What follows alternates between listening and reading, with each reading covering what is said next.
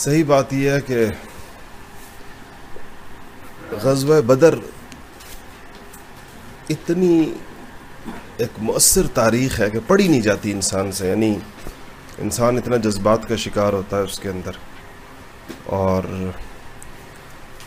اس کو صحیح پڑھانے کا جو طریقہ ہے صرف بدر کو، کہ اس باب میں وارد سب سے پہلے قرآن کی تمام آیات، کیونکہ قرآن نے خود اس کی منظر کشی کی۔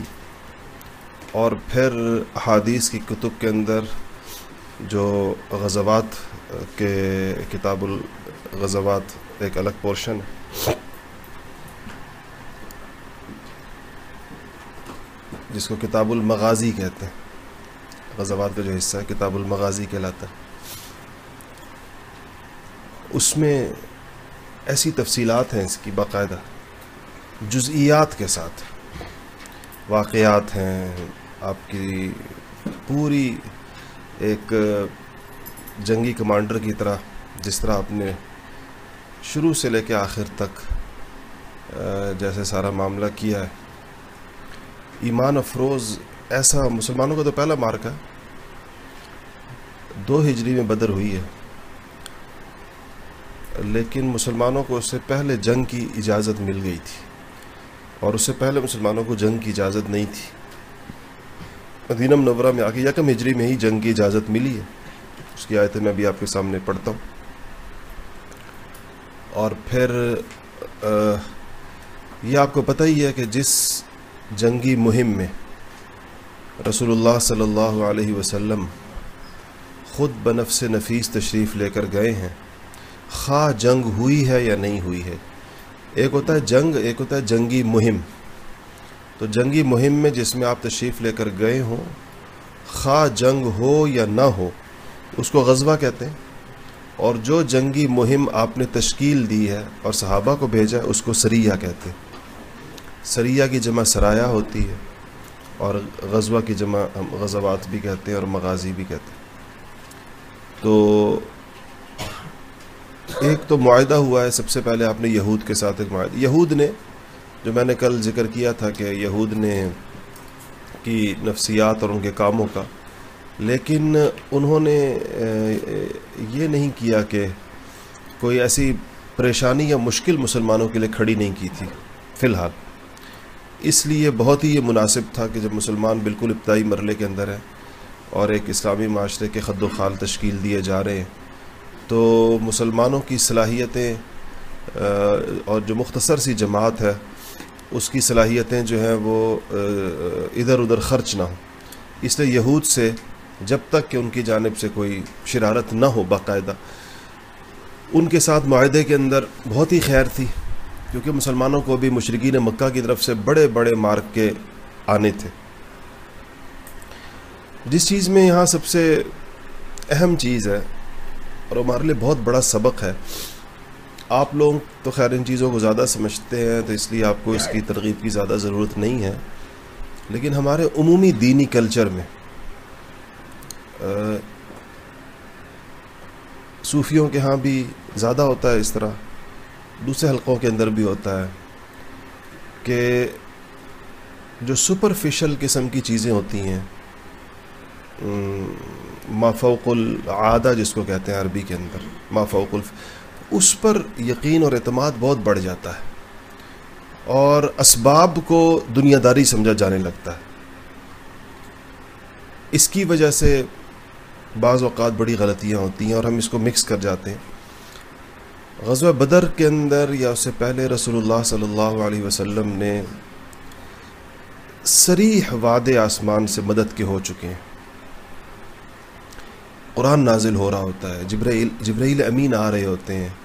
اللہ تعالیٰ کی تائید اور نصرت کھلے آنکھوں سے دیکھی جا رہی ہوتی ہے۔ کھلی آنکھوں سے دیکھی جا رہی ہوتی ہے۔ اس کے باوجود حضور صلی اللہ علیہ وسلم اسباب کے اختیار میں کوئی کمی نہیں فرماتے، کسی مرحلے پر بھی۔ اور اللہ تعالیٰ کا معاملہ بھی ایسا ہے کہ دیکھیں، یہ سارے یہ سوچنے کی بہت بڑی چیز یہ ہے کہ معاملات تو اللہ تعالیٰ کے ایک کن کے ساتھ وابستہ ہے۔ کن کے ساتھ فیکون ہو جاتا ہے۔ تو پھر کیوں یہ پوری ایکسرسائز کیوں ہوتی ہے؟ اس سے سنت اللہ کو سمجھنے کی ضرورت ہے کہ یہ جو کائنات پیدا کی گئی ہے، یہ کائنات کس ڈھب پر چلائی جائے گی؟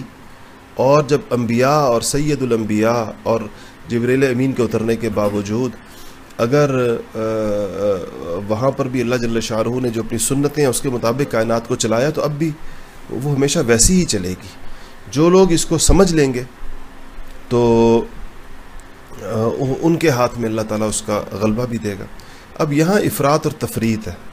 کچھ لوگوں کو پھر اسباب کی اس ساری بات چیت سے نتیجہ نکلتا ہے کہ اسباب پر ان کا اعتق یعنی اسباب کی ضرورت کو ضرورت کے درجے میں رکھنے کی بجائے وہ اس کو کوئی اعتقادی جگہ بھی دے دیتے ہیں۔ حالانکہ اعتقاد کی جگہ اسباب نہیں ہے۔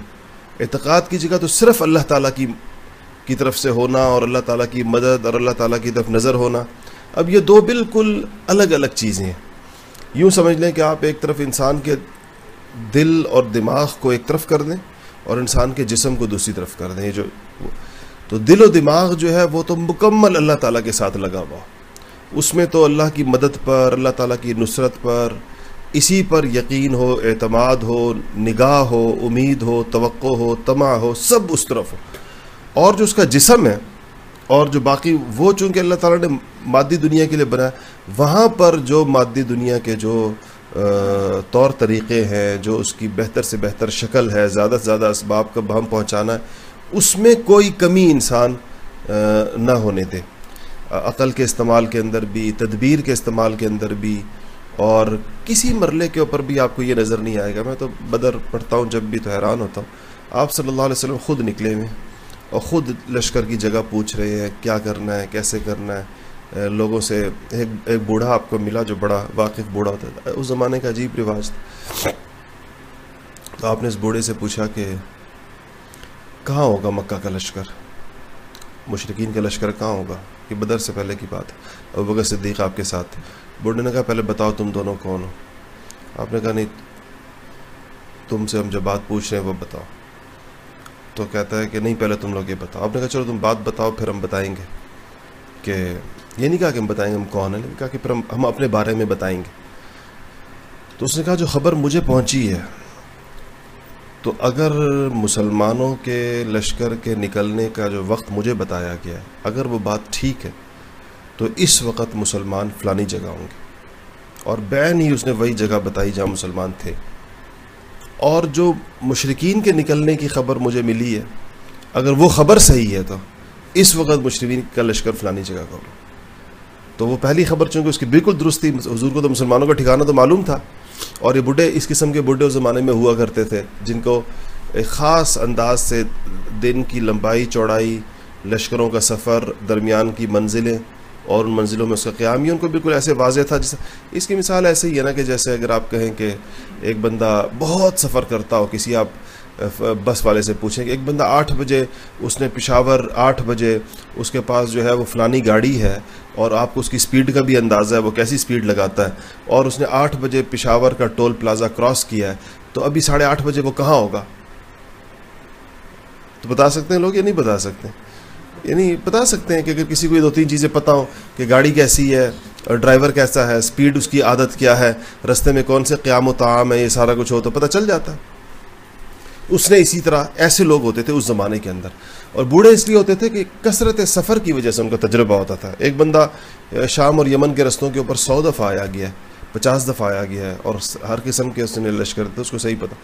تو اس نے کہا کہ آپ نے کہا اچھا ٹھیک ہے، تو اس نے کہا بتاؤ تم لوگ کہاں سے، کس سے ہو؟ مطلب ہوتا ہے کس سے مطلب یہ ہوتا ہے کس قبیلے سے ہو۔ تو آپ نے فرمایا کہ ہم پانی سے ہیں۔ اور یہ کہا اور آپ چل پڑے تھے، کہتے بڈھا پیچھے سے بڑھ بڑھاتا رہا، ہم پانی سے ہم پانی سے یہ کوئی بات ہے کہ ہم پانی سے ہیں؟ کہتا پانی سے تو سارے ہیں کہتے اس کے بعد جو ہے نا، تو اب یہ کہ آپ نے اس کو بتایا نہیں، کیونکہ آپ کو اس بات کا اندیشہ تھا کہ جس طرح میں اس سے پوچھ رہا ہوں، یہ مشرقین بھی اس سے مل سکتے ہیں وہ بھی اس سے پوچھ سکتے ہیں۔ تو وہ تو یہ بہت ہی ایکوریٹ اطلاع دے گا کہ بھائی مجھے تو یہ دونوں مل کر بھی گئے ہیں۔ اور یہ لوگ اسی علاقے کے اندر ہیں۔ بڑی ہی دلچسپ تفصیلات ہے اگر آپ لوگ غزوہ بدر کو ہم لوگ، ہمارے ہاں مدارس کے اندر بخاری میں کتاب المغازی، بخاری شریف۔ اور ظاہر ہے کہ غزوات کا جب ذکر آتا ہے کچھ تھوڑے سرایہ کو چھوڑ کے چلنے کا، بدر سے ہی شروع ہوتی کہانی۔ تو بدر کو پھر بڑے اساتذہ جو اچھا پڑھانے والے ہیں، وہ اس کو پورے بدر کے نقشے تیار ہیں۔ مکمل طور پر ایک ایک چیز معلوم ہے، کون کہاں تھا، کیسے تھا۔ اور اس کو پروجیکٹر کے اوپر پڑھایا جاتا ہے۔ پورا بتایا جاتا ہے، پورا میدان اس کا سجا، کیسے ہوا، کہاں ہوا، کون سا واقعہ، کہاں ہوا، کون سا۔ جس کسی نے اگر بدر کا میدان دیکھا ہو، آپ میں سے کسی نے بدر کا میدان دیکھا؟ کوئی نہیں گیا۔ بلال گیا اچھا عثمان بھی گیا۔ وہاں جب جائیں تو بدر جا سکتے ہیں، اب تو تھوڑی سی آسانی بھی ہو گئی ہے۔ بدر ہے اور وہاں پر پھر وہ جس جگہ مشرقین کے لوگ کاٹ کر ڈالے گئے تھے جس کنویں کے اندر۔ قلیب بدر کہتے سو قلیب بدر۔ تو اس جگہ لیٹرین بنائے گئے۔ ہیں بدر کا واقعہ پڑھتے ہوئے نا گوگل میپس میں بھی دیکھا تھا۔ ہاں۔ امیج ہے۔ وہ اس جیسے یہ کتابیں جیسے امیج دی نا ابھی بھی چیزیں کچھ کچھ پہچانی جاتی ہیں۔ ہاں۔ یہ جبل یہاں پر ہے اور اس طرح سے آئے ہوں گے اور یہ جی چیزیں کافی حد تک۔ کوئی بہت زیادہ اس جگہ نا کوئی بہت بڑی آبادی نہیں ہوئی ہے۔ ہے آبادی ہے وہاں پر لیکن ایسی نہیں ہے کہ وہ میدان اسی کا اسی طرح ہے تقریباً کم و بیش۔ آس پاس کے کچھ گھر ہیں لیکن بہت زیادہ نہیں ہے۔ چار دیواری سی لگا دی ہے ان لوگوں نے اور اپنی عادت کے مطابق بہت زیادہ لوگوں کو وہاں چھوڑتے نہیں ہیں۔ بڑی مشکل سے بندہ وہاں جاتا ہے تو پھر کوئی نہ کوئی وہ آ جاتا ہے شرتا آ جاتا ہے۔ اور ایک رستہ ہے مکہ سے مدینہ جانے کا، ایک اور رستہ ہے جو عام رستے سے ہٹ کر ہے۔ تو اگر آپ اس رستے سے جائیں تو بدر ویسی رستے کے اندر پڑتا ہے آپ کے۔ تو اس سے اس کو وہاں دیکھا جا سکتا خیر، پہلی چیز جو ہے وہ یہ کہ معاہدہ ہوا ہے یہود کے ساتھ۔ اس معاہدے کی شقیں آپ دیکھ لیجیے کہ پہلی چیز یہ یہود سے کہا گیا کہ ہم لوگ آپس میں ایک قوم کی طرح رہیں گے۔ اور اپنے اپنے دین پر رہیں گے، یہود اپنے دین پر رہیں اور ہم اپنے دین پر اسی لیے آپ نے دیکھا ہوگا کہ اس زمانے کے اندر یہود کے بعض مقدمات رسول اللہ صلی اللہ علیہ وسلم کی خدمت میں آئے، پیش کیے گئے۔ تو آپ نے علماء یہود کو بلایا کہ تورات اپنے ساتھ لے کر آئیں اور بتائیں کہ تورات میں کیا لکھا ہے۔ آپ کا حکم، آپ کے یہاں اس کا حکم کیا تو وہی حکم اگر یہود سے متعلق کوئی مقدمہ آیا تو انہی کی کتاب سے بسا اوقات فیصلے فرمائے ہیں۔ دوسرا یہ کہا کہ اپنے اپنے اخراجات کے ذمہ دار ہوں گے، دوسری شقیتی معاہدے کی کیا یہود اپنے اخراجات کے ذمہ دار ہوں گے، مسلمان اپنے اخراجات کے ذمہ دار ہوں گے۔ اور جو بھی کوئی حملہ کرے گا باہر سے تو اس کے اوپر دونوں مل کر اس کا جواب دیں گے۔ مدینہ منورہ کے اندر اگر حملہ ہوا تو۔ اچھا آپس کے اندر جو تعلقات ہوں گے، وہ اس کی بنیاد خیر خواہی اور نیکی کی چیزوں کے اوپر ہوگی، گناہ کی چیزوں پر نہیں ہوگی یعنی غلط کاموں کے اوپر یہ اتفاق نہیں ہوگا۔ بلکہ ٹھیک کاموں کے اوپر ہوگا۔ اچھا اگر کسی کے، چونکہ ہم یہود کے بھی کچھ حلیف تھے اور ادھر سے مسلمانوں کے بھی مختلف اس پر تھے، تو کوئی بندہ بھی اپنے یا یہ کہ انفرادی طور پر لوگوں نے لوگوں کو حلف دیا ہوا تھا، امان دی ہوئی تھی، تو جاہلیت کا ایک دستور یہ تھا کہ بندہ اپنے حلیف کی وجہ سے بھی ماخوذ ہوتا تھا، تو کہا گیا کہ حلیف کی وجہ سے کوئی بندہ مجرم نہیں سمجھا جائے گا۔ مثلا یہ تھا کہ کسی کے حلیف نے قتل کر دیا تو اس کو تو جس نے قتل کیا اس تک رسائی نہیں ہوئی تو اس کے حلیف کو مار دیا یہ سوچ کر کے اور اس اس بدلے کو بدلہ سمجھا جاتا تھا تو کہا کہ ایسے نہیں ہوگا، حلیف کی وجہ سے کوئی کسی کو قتل نہیں کرے گا یا کوئی اس کی اور یہ کہ دوسرا یہ تھا کہ مظلوم کی مدد کی جائے گی، جہاں پر بھی ظلم ہوگا۔ اگر جنگ ہوئی تو مسلمانوں پر حملہ ہوا یا کوئی بھی مدینہ پر جنگ مسلط کی گئی تو یہود بھی اس کے اخراجات کو برداشت کریں گے۔ دیکھیں کتنی زبردست بات اس کے اندر آئی ہے کہ اگر مشرقین مکہ نے حملہ کیا اور جنگ آئی، کوئی کسی نے بھی حملہ کیا اور جنگ آئی، تو صرف یہ نہیں کہ یہود، اس میں بلکہ یہود اخراج اور آپ کو پتا ہے کہ اس اس معاہدے کی وجہ سے کم سے کم یہود جیسی فطرت رکھنے والے بخیل لوگ، وہ کم سے کم پھر جنگ کے خواہش مند اس سے نہیں ہوں گے۔ کہ انہیں پتہ ہوگا کہ پھر جنگ آئے گی تو خرچہ بھی ہمارے اوپر آئے گا اور خرچے سے تو ان کی جان جاتی تھی ویسے بھی بہت زیادہ۔ تو یہ ایک اس کی بڑی عجیب شک تھی، اس کے اندر بہت وہ تھی۔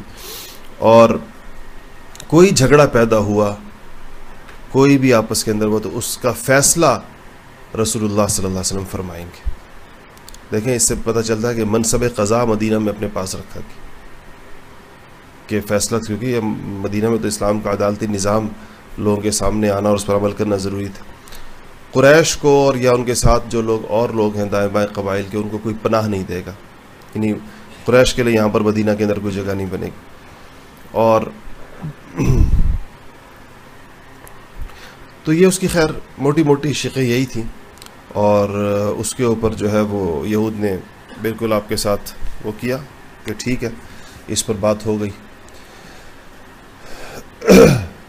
اس کے بعد وہ جو میں نے آیتوں کا ذکر کیا جو اللہ جل شاہ نے جس چیز کی اجازت دی کہ ادین الدین قاتل نبی انہم ظلم قرآن کی آیت ہے، کہ جن لوگوں سے جنگ کی جا رہی ہے، ان ان کو بھی جنگ کی اجازت دے دی گئی ہے۔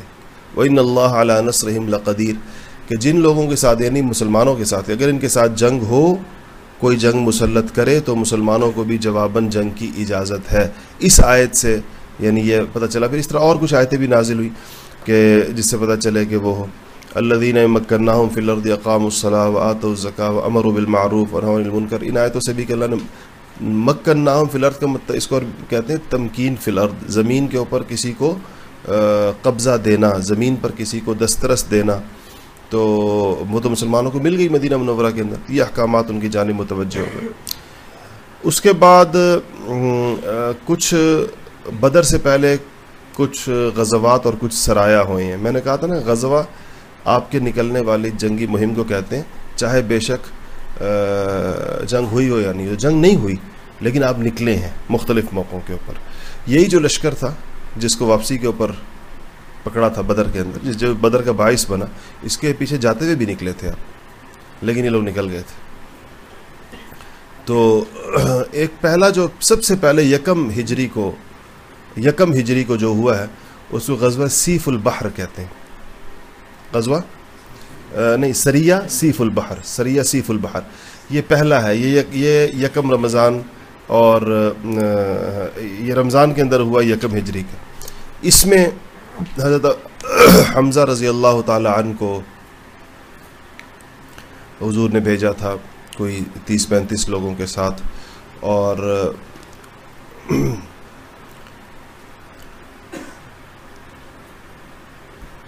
اس میں کوئی ابو جہل بھی تھا اس قافلے میں، کسی قافلے کے پیچھے بھیجا گیا تھا، آمنا سامنا بھی ہوا تھا۔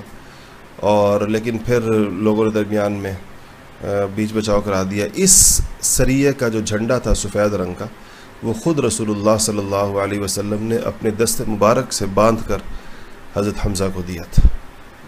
حضرت حمزہ نے بدر میں جو میں جو بہادری کے جوہر دکھائے ہیں نا بہت ہی حیران کن ہے۔ یعنی کہ واقعی اسد اللہ و اسد الرسول کہ حضور نے دو، یہ دو خطابات ایسے ہیں حضرت حمزہ کے، کہ سید الشہداء، یہ تو حضرت حمزہ کا لقب ہے، سید الشہداء۔ اور دوسرا اسد اللہ و اسد الرسول اللہ کا شعر اور اس کے رسول کا شعر۔ دوسرا جو ہے سریہ رابغ رابغ ایک علاقہ ہے، حدیثی سیرت کتابوں کے اندر اس رابغ کی جگہ کا بہت زیادہ آتا ہے۔ یہاں عبید بن حارث بن عبد المطلب کو، عبیدہ ابن حارث۔ عبیدہ ابن حارث سے آپ یہ یاد رکھیں کہ یہ حارث وہی ہیں جو حضور کے چچا ہیں، عبد المطلب کے بیٹے ہیں حارث۔ تو عبیدہ حضور کے چچزاد بھائی ہو گئے۔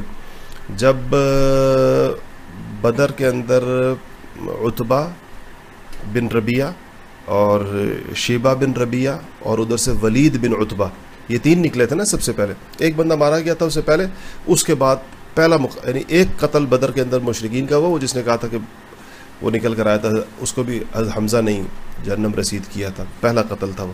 اس کے بعد جب طے ہوا کہ اپنے اپنے بندے نکالے جائیں، تو مشرقین کی طرف سے اتبا ابن ربیہ دیکھیں بالکل سرداران قریش رؤسائے قریش اس زمانے کی جنگیں اس طرح ہوتی تھیں یہ اس زمانے کی جنگیں ہیں کہ سپاہی آگے ہوتے ہیں اور جرنیل پیچھے ہوتے ہیں۔ اس زمانے کے اندر سب سے بڑے لوگ سب سے پہلے آگے ہوتے تھے۔ اسی سے جنگ بھڑکتی تھی، اسی سے جب ان کے قتل سے یا ان کے وہ بہت غیر معمولی جذبات کی جنگ ہوتی تھی۔ تو اتبا ابن ربیعہ، شیبہ ابن ربیہ اور اور ولید ابن اتبا یہ تین نکلے۔ یہ تین نکلے تو حضور نے کہا کہ ادھر سے نکلے۔ تو یہاں سے معوض اور یہ وہی معوض ابن افرا اور عوف اور عبداللہ ابن رواحہ، ابن ابی رواحہ۔ تو جب یہ نکلے تو پوچھا، کون ہو تم لوگ؟ تینوں نے پوچھا۔ تینوں نے اپنے تعارف کرایا، کہا، نہیں، ہمارے ہم سر بھیجیں۔ آواز دیے محمد ہمارے جیسے بھیجو۔ دیکھو یہاں سے کون نکلا ہے۔ ہمارے ہم سر بھیجو، قبیلے کے لوگ بھیجو۔ یہ کیا؟ یہ انصار تھے۔ مطلب یہ تھا کہ مہاجر سے بھیجو۔ تو آپ نے جو پہلا نام لیا، عبیدہ ابن حارث کا لیے۔ کہا کہ عبیدہ اٹھو۔ حمزہ اٹھیے، علی اٹھو۔ تو کہا یہ تینوں نکلے۔ تو پھر یہ یہ بوڑھے تھے عبیدہ کافی، ان کی عمر کافی زیادہ تھی۔ تو یہ پھر یہ تین، ان تین کے مقابلے کے اندر آئے۔ پہلی، پہلا جو مارکا ہوا خیر، وہ بھی آگے بدر آئے گی تو اس کے اندر۔ دوسرا میں بتا تھا کہ سریہ رابغ میں یہ پہلا جو سریہ ہے، سیف البحر، اس کے اندر تو حمزہ ہے امیر رضی اللہ تعالیٰ عنہ۔ اور دوسرا جو ہے، وہ اس کے اندر یہ عبیدہ ابن حارث بن عبد المطلب، حضور کے چچزاد بھائی ہیں۔ تیسرا سریہ سریہ خرار ہے۔ اور اس خرار کو یہ ذلقادہ کے اندر پہلا والا کس میں ہوا ہے؟ رمضان میں۔ دوسرا شوال میں۔ پھر ذلقادہ میں، ہر مہینے دے کے رمضان۔ پھر کیا آتا ہے اس کے بعد؟ شوال، پھر کیا آتا ہے؟ ذلقادہ ذلقادہ میں تیسرا اس میں سعد ابن ابی وقاص امیر ہے۔ اس کو سریہ خرار کہتے ہیں۔ یہ اس کو جہاں جس جگہ پر ہوا ہے، اسی جگہ کو وہ کہا جاتا ہے۔ اچھا اس کا عالم بھی سفید تھا۔ اور یہاں پر جو ہے، یہ چوتھا جو ہے، وہ ابوا ہے۔ ابوا کا مقام آپ نے کس اعتبار سے سنا ہے اس جگہ کے بارے میں؟ جی تو اس کے اندر جو ہے، اس میں یہ چوتھا جو ہے، یہ پھر غزوہ ہے۔ تو یہ گویا اس میں رسول اللہ صلی اللہ علیہ وسلم خود تو یہ پہلا غزوہ ہو گیا۔ یہ تین تو سرایا ہو گئے پہلے۔ چوتھا یہ غزوہ ہے اور اس میں رسول اللہ صلی اللہ علیہ وسلم خود تشریف لے کر گئے بنفس نفیس۔ اور مدینہ کے اندر حضرت سعد ابن عبادہ کو آپ نے اپنی جگہ پر امیر مقرر کیا اس دوران۔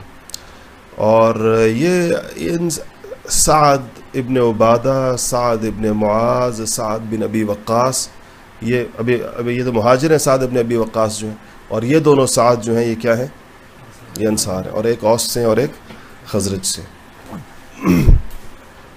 سعد ابن معاذ نے جب حضور نے بدر کا مشورہ کیا ہے، کبھی آپ وہ تقریر حدیثی کتابوں میں پڑھے جو سعد ابن معاذ نے کی ہے، اور حضور اتنے خوش ہوئے اس تقریر سے۔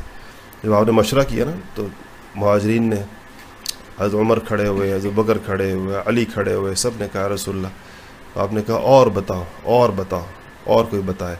سارے مہاجر میں کہا اور کوئی بتایا۔ سعد نے فرمایا، رسول اللہ، لگتا ہے کہ آپ کا روح سخن ہماری طرف ہے۔ آپ انصار سے پوچھنا چاہتے ہیں۔ تو پھر انہوں نے ایک ایسی تقریر کی، ایسی جرت مندانہ ایسی غیرت میں، حالانکہ جی، بیت اقبا کے جس معاہدے کے تحت رسول اللہ مدینہ میں تشریف لائے تھے، مدینہ سے باہر نکل کر کسی جنگ کے لڑنے کے انصار پابند نہیں تھے۔ یہ نہیں انصار نے کہا تھا کہ ہم آپ کے ساتھ اقدامی جنگ جہاد کریں گے، بلکہ انصار نے کہا تھا کہ ہم آپ کے ساتھ دفاعی جہاد کریں گے۔ آپ پر حملہ ہوگا تو ہم آپ کے ساتھ کھڑے ہوں۔ اس وقت جو بیعت ہوئی تھی۔ لیکن ظاہر بات ہے وہ تو ایک وہ زمانہ تھا جب پہلی دفعہ ان کو پھر جب اسلام کا رنگ ان کے اوپر چڑھ گیا۔ وہ تقریر انشاءاللہ اپنے وقت کے اوپر جب آئے گی تو میں آپ کو بتاؤں گا کیا ہے۔ وہ سیرت کی حدیثی کتابوں کے اندر پورے کے پورے اس کے الفاظ موجود ہیں۔ سعد ابن معاذ نے اس وقت کیا کہا تھا۔ اور حضور خوش ہو کر ایسی دعا دی ان کو سعد ابن معاذ کو۔ تو یہ غزوہ ابوا ہے۔ اس کے اندر رسول اللہ صلی اللہ علیہ وسلم آپ خود نکلے اور اس میں بھی قافلے کو روکنا ان کا مقصد تھا۔ اور لیکن یہ تھا کہ جنگ نہیں ہو سکی۔ اور پندرہ دن کے بعد یہ غزوہ واپس آ گیا۔ یہاں پر بھی جھنڈا سفید ہی تھا۔ اور سیدنا حمزہ رضی اللہ تعالیٰ عنہ کے پاس جھنڈا اس کے بعد ہے غزوہ بوات اور اس کے اندر بھی دو سو صحابہ کے ساتھ حضور نکلے۔ امیہ ابن خلف مشرقین کا لشکر لے کر نکلے تھے اور وہاں پر بھی آپ ان کے پیچھے نکلے اور لیکن وہاں پر بھی اس غزوے کے اندر بھی وہ نہیں ہوا۔ اس میں بھی پھر سعد ابن معاذ ہی کو مدینہ کا امیر بنایا گیا تھا۔ یہ کون سے ہو گئے؟ دو غزوات ہو گئے، تین سرایا ہو گئے یعنی دو سرایا پہلے دو، پھر دو غزوات۔ اور یہ دیکھیں ذیلقادہ کے بعد ذیلحجہ میں نہیں ہوا اور یہ جو بوات ہے، یہ ابوا ہے، یہ سفر میں ہوا اور پھر یہ والا بوات جو ہے، یہ ربی الاول کے اندر ہوا اور پھر ربیع الاول ہی کے اندر ایک غزوہ صفوان ہے اور یہاں پر بھی آپ صحابہ کو لے کر نکلے اور اس میں اس میں بھی کوئی وہ نہیں ہوا باقاعدہ ٹکراؤ نہیں ہوا اس کے اندر۔ پھر ایک غزوہ ہے جس کو ذیل عشیرہ کہتے ہیں۔ اور یہاں پر بھی انہی کے قافلے کے پیچھے ہی جانا ہوا ہے۔ تو اس میں بھی آپ واپس آئے ہیں۔ اور یہ ہو گئے چار غزبات ہو گئے۔ کتنے ہو گئے؟ ایک، دو، تین، چار، دو۔ پھر آٹھواں جو ہے یعنی چار غزوات ہو گئے اور تین سرایا ہو گئے۔ آٹھواں جو ہے وہ سریہ نخلا کہلاتا ہے۔ یہ رجب کے اندر ہوا ہے، دو ہجری کے اندر۔ اور اس کے بعد یہ آٹھ ہیں یوں سمجھے کہ سرایا یا غزوات جو بدر سے پہلے ہوئے ہیں۔ لیکن اس سب کے اندر کہیں پر کوئی تصادم نہیں ہوا۔ جنگی مہمیں بھیجی گئی ہیں، لیکن تصادم نہیں ہوا۔ دو ہجری کو غزوہ بدر ہوا جس کو ان میں سے بعض ان پچھلے والے جو ہیں، ان میں سے بعض کو جو بدر کے مقام کے آس پاس ہوئے ہیں تو اس کو بدر سغرا کہتے ہیں بعض لوگ۔ اس لیے اس بدر کو بدر کبرا کہتے ہیں۔ غزوہ بدر القبرا کہ اصل جو بدر کا مارکہ ہے۔ اس بدر کے مارکے کی یہ تو آپ کو پتہ ہے کہ کہ یہ لوگ آ رہے تھے مال لے کر، واپس ان کا قافلہ آ رہا تھا ابو سفیان کی سربراہی کے اندر۔ اس میں بہت بڑی تعداد کے اندر مال و دولت تھا۔ کہتے ہیں یہ اتنا بڑا قافلہ تھا کہ مکہ مکرمہ کے تقریباً ہر آدمی کا مال اس میں تھا۔ جو لوگ جا رہے ہوتے تھے، باقی لوگ اپنے مال ان کے حوالے کرتے۔ تو کہتے ہیں کہ اس غزوے کے اندر ان لوگوں کے پاس کم سے کم ایک ہزار اونٹ تھے، جن کے اوپر پچاس ہزار دینار۔ دینار میں نے بتایا تھا نا، سونے کے سکے ہوتے تھے۔ پچاس ہزار دینار کا مال لدا ہوا تھا ان اونٹوں کے اوپر۔ اس کا جو بندہ کوئی تقریباً کوئی پونے تین سو، ڈھائی سو، پونے تین سو کلو سونا بنتا ہے۔ اس زمانے کے اعتبار سے بہت بڑی دولت تھی۔ تو اس کا جب پتہ چلا تو اس کے لیے وہ ہوا۔ لیکن چونکہ کبھی یہ باقاعدہ جنگ کا تو خیال نہیں تھا کہ بڑی جنگ آئے گی، اس لیے بدر کے اندر باقاعدہ نفیر عام نہیں ہوا تھا بدر کے لیے۔ یہ نہیں کہا گیا تھا کہ سب نکلو۔ نفیر عام کہتے ہیں جو فرض جہاد جو سب پر واجب ہو یہ نہیں ہوا تھا۔ بھلے اعلان ہوا تھا کہ چلنا ہے جو چلے تو ساتھ چلے اس لیے صحابہ کی کم تعداد نکلی تھی، لیکن بے سر و سامانی بہت زیادہ تھی۔ کل دو اونٹ تھے۔ اور لشکر کے اندر جو دائیں طرف کا دستہ ہوتا ہے، اس کو میمنا کہتے ہیں عربی کے اندر، اور جو بائیں طرف ہوتا ہے مئی سرا کہتے ہیں۔ یعنی یمین اور یسار ہوتا ہے نا، یمین سے مئی منا اور یسار سے مئی سرا تو پھر جو دونوں صحابہ، جو دونوں میمنا اور میسرا کو جو کمان کر رہے تھے، بس یہ گھوڑے انہی کے پاس تھے۔ تو وہ گھوڑوں پر تھے، کوئی ستر کے لگ بھگ اونٹ تھے اور چند تلواریں تھیں اور بس باقی یہ صحابہ تھے اور زبردست قسم کا جذبہ تھا۔ آپ نے، لیکن اس میں بدر کے اس مقابل جو لشکر تھا سامنے، اس کی جو خصوصیات دو تین تھی۔ ایک خصوصیت تو یہ تھی کہ یہ بے انتہا مال اس زمانے کے اعتبار سے اس میں تھا۔ دوسرا یہ تھا کہ روسائے قریش اتنی بڑی تعداد کے اندر کسی قافلے کے اندر کم جمع ہوتے تھے۔ چند لوگ جاتے تھے لیکن اگر بڑے لوگوں میں سے جو معروف لوگوں میں سے ایک ابو سفیان ابو لہب پیچھے رہ گیا۔ اور کیا کہتے ہیں اس کو؟ ایک صفوان ابن امیہ امیہ ابن خلف خود اس کے اندر موجود تھا، اس کا بیٹا البتہ پیچھے تھا۔ اور وہ بڑا حیران بھی ہوا جب لوگ گئے اور انہوں نے اس کو بتایا کہ یہ ہوا۔ تو خیر، تو اس کے بعد آپ جب ہے نکلے دو صحابہ ہیں جن میں سے جن کے پاس گھوڑے ہیں۔ ایک زبیر ابن عوام کے پاس ہے اور ایک مقداد ابن اسود کے پاس ہے۔ اسی لیے زبیر ابن عوام میمنہ کو کمان کر رہے تھے اور مقداد ابن اسود جو ہے وہ میسرہ کو کمان کر رہے تھے۔ باقی لوگ اپنے اس کے اندر تھے۔ اور اونٹ جو تھے ستر تھے۔ دو لوگ کبھی تین لوگوں کے اوپر ایک ایک اونٹ آتا تھا۔ حضور صلی اللہ علیہ وسلم کا اونٹ بھی تین لوگوں کے پاس، تین لوگوں پر تقسیم۔ وہ آپ بھی تھے، حضرت علی بھی تھے، حضرت مرسد ابن ابی مرسد وہ بھی آپ کے ساتھ تیسرے شریک تھے، یہ لوگ اترتے چڑھتے رہتے تھے۔ پہلے عبد عبداللہ ابن ام مکتوم کو امیر بنایا گیا مدینہ منورہ کا، یہ وہ نابینا صحابی جو تھے۔ پھر آپ نے رستے کے اندر سے حضرت ابو البابا کو بھیجا واپس اور ان کی فرمایا کہ یہ امیر یہ ہوں گے۔ اس کے ایک روحا ایک وہاں سے آپ نے ان کو ان کو بنا کے بھیجا۔ تو پھر خیر، مختلف رستوں سے آئے۔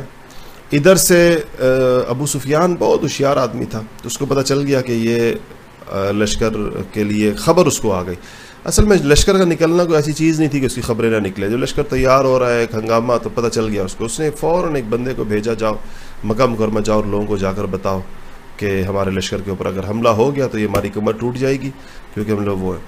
تو وہ آیا اور کہتے ہیں، اس زمانے کے جس طرح وہ عادت ہوتی تھی کہ لوگ ایک عجیب کام کرتے تھے کہ اپنے آتے ہی اپنی اونٹ کی ناک چیری بعض اوقات یا اس کے بعد جو اپنا کرتا پھاڑا اور کسی اونچی جگہ کے اوپر چڑھے، آگ جلائی اور ایک ہنگامہ یعنی یہ وہ جیسے آج کل جس کو بریکنگ نیوز ٹائپ نہیں ہوتا، اس قسم کا ایک اس زمانے کی بریکنگ نیوز کا سٹائل یہ ہوتا تھا۔ اور اس نے کہا کہ قافلہ قافلہ قافلہ، اے اہل قریش تمہارے قافلے کے اوپر محمد اور اس کے ساتھی صلی اللہ علیہ وسلم وہ حملہ کرنے والے ہیں اور بس تمہارا لشکر گیا اور یہ اور وہ پورے مکے کے اندر ایک سراسیمگی دوڑی اور لوگ بھی اور اسے کہ اہل مکہ بھی یعنی تیار ہوئے مکمل طور پر۔ اچھا جی تو لشکر یہاں سے بھی تیار ہو کر اپنے قافلے کی مدد کے لیے گیا؟ اس کے اندر ان کی تعداد کتنی تھی؟ آپ نے بار بار سنی بھی ہوگی کہ اس کے اندر تقریباً کی تعداد تیرہ سو کے لگ بھگ تھی۔ اور تو یہ کت، ایک اور کتنے کی نسبت بنتی ہے؟ تین سو اور تیرہ سو۔ اور یہاں سے اب یہ لوگ نکلے مکہ سے یہ لوگ۔ اور، اس میں یہاں ابو جہلی قیادت میں نکلے۔ وہاں سے ابو سفیان قافلہ لے کر آ رہا تھا۔ ان کے ان کے پاس کہتے ہیں کہ اس کے اندر جو ہے وہ سو گھوڑے تھے اور چھ سو زرہیں تھیں ان کے اندر۔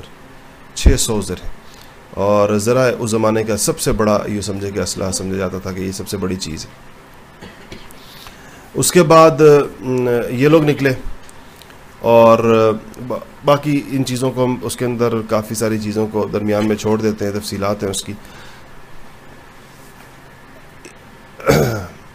صحابہ سے آپ نے مشورہ کیا تو کیا کیا جائے؟ سیدنا بکر صدیق فوراً کھڑے ہوئے آپ کی تائید تھی کہ اللہ کے رسول۔ آپ سے جب اللہ جل اصل میں سے پہلے یہ آیتیں نازل ہوئی کما اخرج کا رب کا ممبئی دے گا بالحق و ان فریق من المؤمنین لکاری ہون یجادلون فی الحق بعد ما تبین کا انما یساقون الى الموت وهم ينظرون خیر، جب وہ ہوا تو عزو بکر صدیق کھڑے ہوئے، خوب آپ سے کہا کہ رسول اللہ، آپ بالکل جو فیصلہ فرمائیں اور بڑی چیز عمر فاروق کھڑے ہوئے۔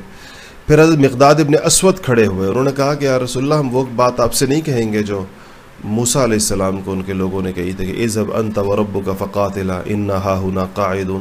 کہ انہوں نے کہا تھا کہ آپ جائیے اور آپ کا رب جائے۔ آپ لوگ لڑائی لڑیں ان ہم یہاں بیٹھے ہوئے تو کہا کہ ہم وہ لوگ نہیں ہیں جو اپنے نبی کو یہ جواب دیں، جو جواب موسا علیہ السلام کو ان کی قوم نے دیا تھا۔ ہم آپ کے ساتھ چلیں گے اور ہم آپ کے بارے میں ہم لڑیں گے، جہاں ہمیں لڑائیں گے، وہاں پر لڑیں گے۔ تو کہا کہ آپ نے مقداد کی بات کی، بھی تعریف کی، پھر اور مہاجرین بھی کے بعد دیگرے کھڑے ہو آپ نے کہا کچھ اور بولو اور بولو، اور کوئی بولے، اور کوئی بولے، تو جو بھی بول رہا ہے تو آپ پھر بھی فرما رہے ہیں کہ اور کوئی بولے۔ تو سعد ابن معاذ نے کہا کہ، یا رسول اللہ، شاید آپ انصار سے پوچھنا چاہ رہے ہیں کہ انصار کیا کہتے تو پھر انہوں نے کہا کہ یا رسول اللہ، ہم نے آپ کے ہاتھ کے اوپر بیعت کی ہے۔ اور ہم نے آپ کو اپنا عہد اور پیمان آپ کے ہاتھ کے اوپر کیا ہے۔ آپ اب اگر آپ ہم، ہمارے، ہماری جانوں میں سے جو جو جان ہماری آپ پر قربان ہو جائے گی، ہم اس کو بہتر سمجھیں گے، اس جان سے جو بچ جائے گی۔ اور جو مال ہمارا آپ کے اوپر قربان ہو جائے گا، اس کو ہم بہتر سمجھیں گے، اس مال سے جو بچ جائے گا۔ آپ ہمیں لے کر خشکی کے اوپر لڑیں تو خشکی پر لڑیں گے۔ اگر آپ ہمیں کہیں گے کہ سمندروں میں اترنا ہے تو ہم سمندروں کے اندر اتر جائیں گے۔ ایک بہت دور دراز کے مقام کا نام لیا، برق غمات کہا کہ اگر آپ ہمیں وہاں تک بھی لے کر جائیں گے، دور دراز جو ان کے ہاں دور کی منزل سے، تو کہا کہ رسول اللہ ہم آپ کے ساتھ وہاں پر بھی جائیں گے۔ اور بہت ہی جانصاری کا کا، ان کا وہ ہے، سعد ابن معاذ کا۔ تو اس پر حضور صلی اللہ علیہ وسلم بہت خوش ہوئے اور آپ نے فوراً فرمایا کہ اٹھو اور چلو اور مجھ سے اللہ تعالیٰ کا وعدہ ہے کہ دو گروہ میں سے ایک کا اللہ جل شاہ نے مجھ سے وعدہ فرمایا اور میں اس قوم کی یعنی قریش کی قتل گاہیں جہاں یہ قتل ہوں گے، میں اپنی آنکھوں سے دیکھ رہا ہوں۔ تو یہ فرمایا اور آپ چلے۔ میں نے پھر بتایا تھا پھر آپ کو کہ اس کے بارے میں رستے کے اندر کچھ لوگوں سے پوچھتے ہوئے گئے اور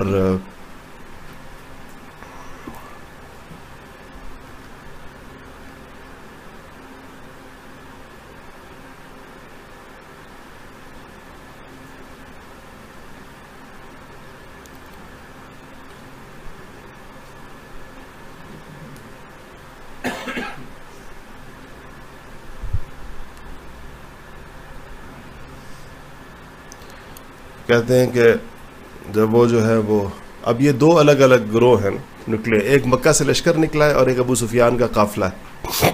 ابھی یہ ملے نہیں ہیں۔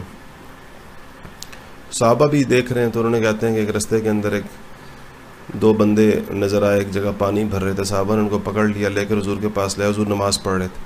صحابہ نے پوچھا، تم کون ہو؟ تو انہوں نے کہا کہ ہم قریش کے سکے ہیں، پانی بھرنے کے لوگ ساتھ ہوتے تھے۔ تو صحابہ نے ان کی بڑی زبردست پٹائی کی کہ شاید جھوٹ بول رہے ہیں، یہ ابو سفیان کے لشکر کے قافلے کے لوگ ہوں گے۔ کیونکہ اس کے صحابہ کو معلومات چاہیے تھی نا کہ وہ قافلہ کدھر ہے۔ تو ان کی پٹائی کی تو اس نے کہا ہاں ٹھیک ہے۔ انہوں نے کہا کہ ہم ابو سفیان کے لوگ ہیں۔ تو انہوں نے چھوڑ دیا اس کو۔ حضور نماز پڑھے تو حضور نماز پڑھے گا کہ جب اس نے صحیح بات بتائی تم لوگوں نے پٹائی کی، جب اس نے غلط بتائی تم لوگوں نے چھوڑ دیا۔ مطلب اس کی پہلی بات ٹھیک تھی، وہ جو کہہ رہا تھا۔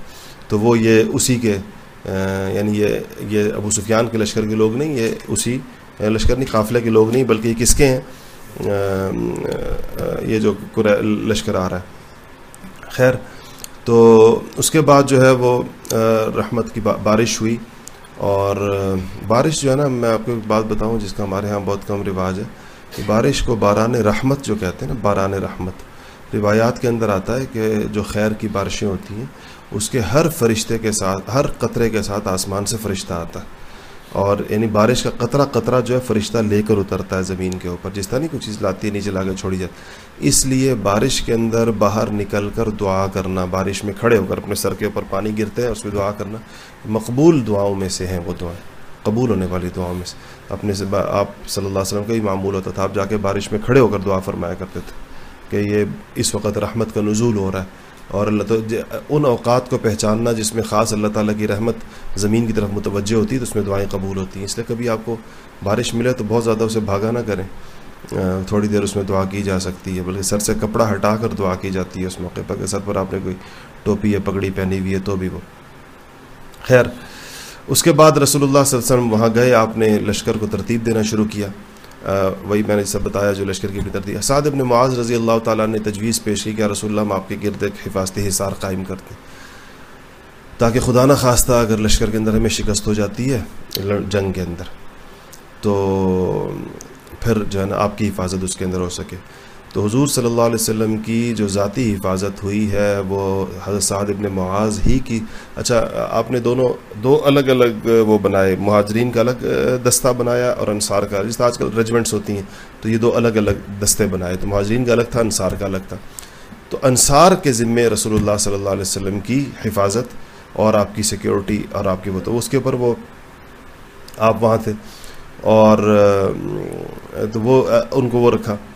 اور ساتھ کی اس تجویز کو یعنی ایک ایسی جگہ، انہوں نے اونچی سی جگہ چھپر سا بنایا حضور کے لیے۔ آپ اس میں تشریف فرماؤں گے، میدان جنگ کو بھی دیکھ رہے ہوں گے۔ اور انہوں نے کہا کہ آپ کو ہم بالکل جو اس سے پیچھے رکھیں گے آپ کی جگہ۔ اگر ہمارے تو سعد نے فرمایا رسول اللہ، اگر ہماری فتح ہوئی تو آپ اس کو دیکھ کر خوش ہوں گے۔ اور اگر خدا نہ خاصہ کوئی دوسرا معاملہ پیش آیا تو ہم آپ کو بحفاظت وہاں سے نکال سکیں گے۔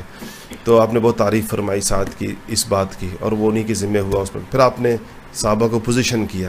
اور جو صحابہ کو پوزیشن کرتے ہوئے آپ نے خود فرمایا کہ یہاں فلانا قتل ہوگا، یہاں فلانا قتل ہوگا، یہاں فلانا قتل ہوگا مشرقین مکہ کے نام لے لے کر یہ اس کی قتل گاہ یہ اس کی قتل گاہ یہ اس کی قتل گاہ یہ اس کی قتل گاہ اس سے صحابہ کو بڑا حوصلہ ہوتا تھا کہ انشاءاللہ یہ یہ لوگ جو ہیں وہ۔ اچھا جی پھر، آ گئی بدر ہی کی طرف۔ قریش نے وادی کے، اس طرف اپنا وہ لگا دیا۔ تو آپ نے پھر کچھ فرمایا؟ آپ نے کہا کہ بنو ہاشم کے کچھ لوگ ایسے ہیں کہ جن کو زبردستی لایا گیا ہے، وہ آنا نہیں چاہتے تھے۔ تو اس لیے اگر وہ کسی کے سامنے آ جائیں تو ان کو کوئی قتل نہ کرے۔ اس کے اندر ابو البختری کا نام بھی لیا۔ آپ کے ذہن کے اندر ابو البختری کی یاد ہے کہ اس نے کیا کیا تھا؟ یہ وہی ہے جس نے وہ شاہ ابی طالب والا معاہدہ چاک کیا تھا۔ وہ لوگ آپ لوگ پچھلی باتیں بھول جاتے ہیں آپ لوگ ٹیسٹ لینا پڑے گا ایک فوراً اس کا نام وہاں پر آیا تھا۔ تو وہ اس کے بارے میں فرمایا کہ ابو البختری ابن ہشام کسی کے سامنے آ جائے، اس کو قتل نہ کرے۔ اچھا ابو البختری کے بارے میں یہ بھی آتا ہے کہ وہ اس نے کم سے ان لوگوں میں سے جس نے حضور کو کم سے کم تکلیف پہنچائی مکہ کے زمانے کے اندر۔ بلکہ بہت سی تکلیفوں کے رستے کے اندر وہ کھڑا ہو گیا، اس میں اس کا نام لے دوسرا، آپ نے فرمایا کہ عباس ابن عبد المطلب کسی کے سامنے آ جائے، میرے چچا، تو ان کو بھی کوئی قتل نہ کرے۔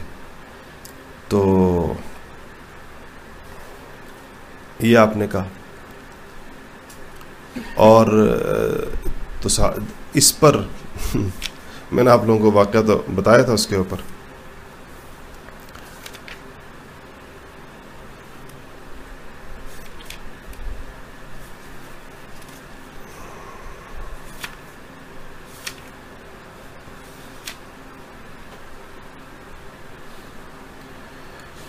اللہ اکبر۔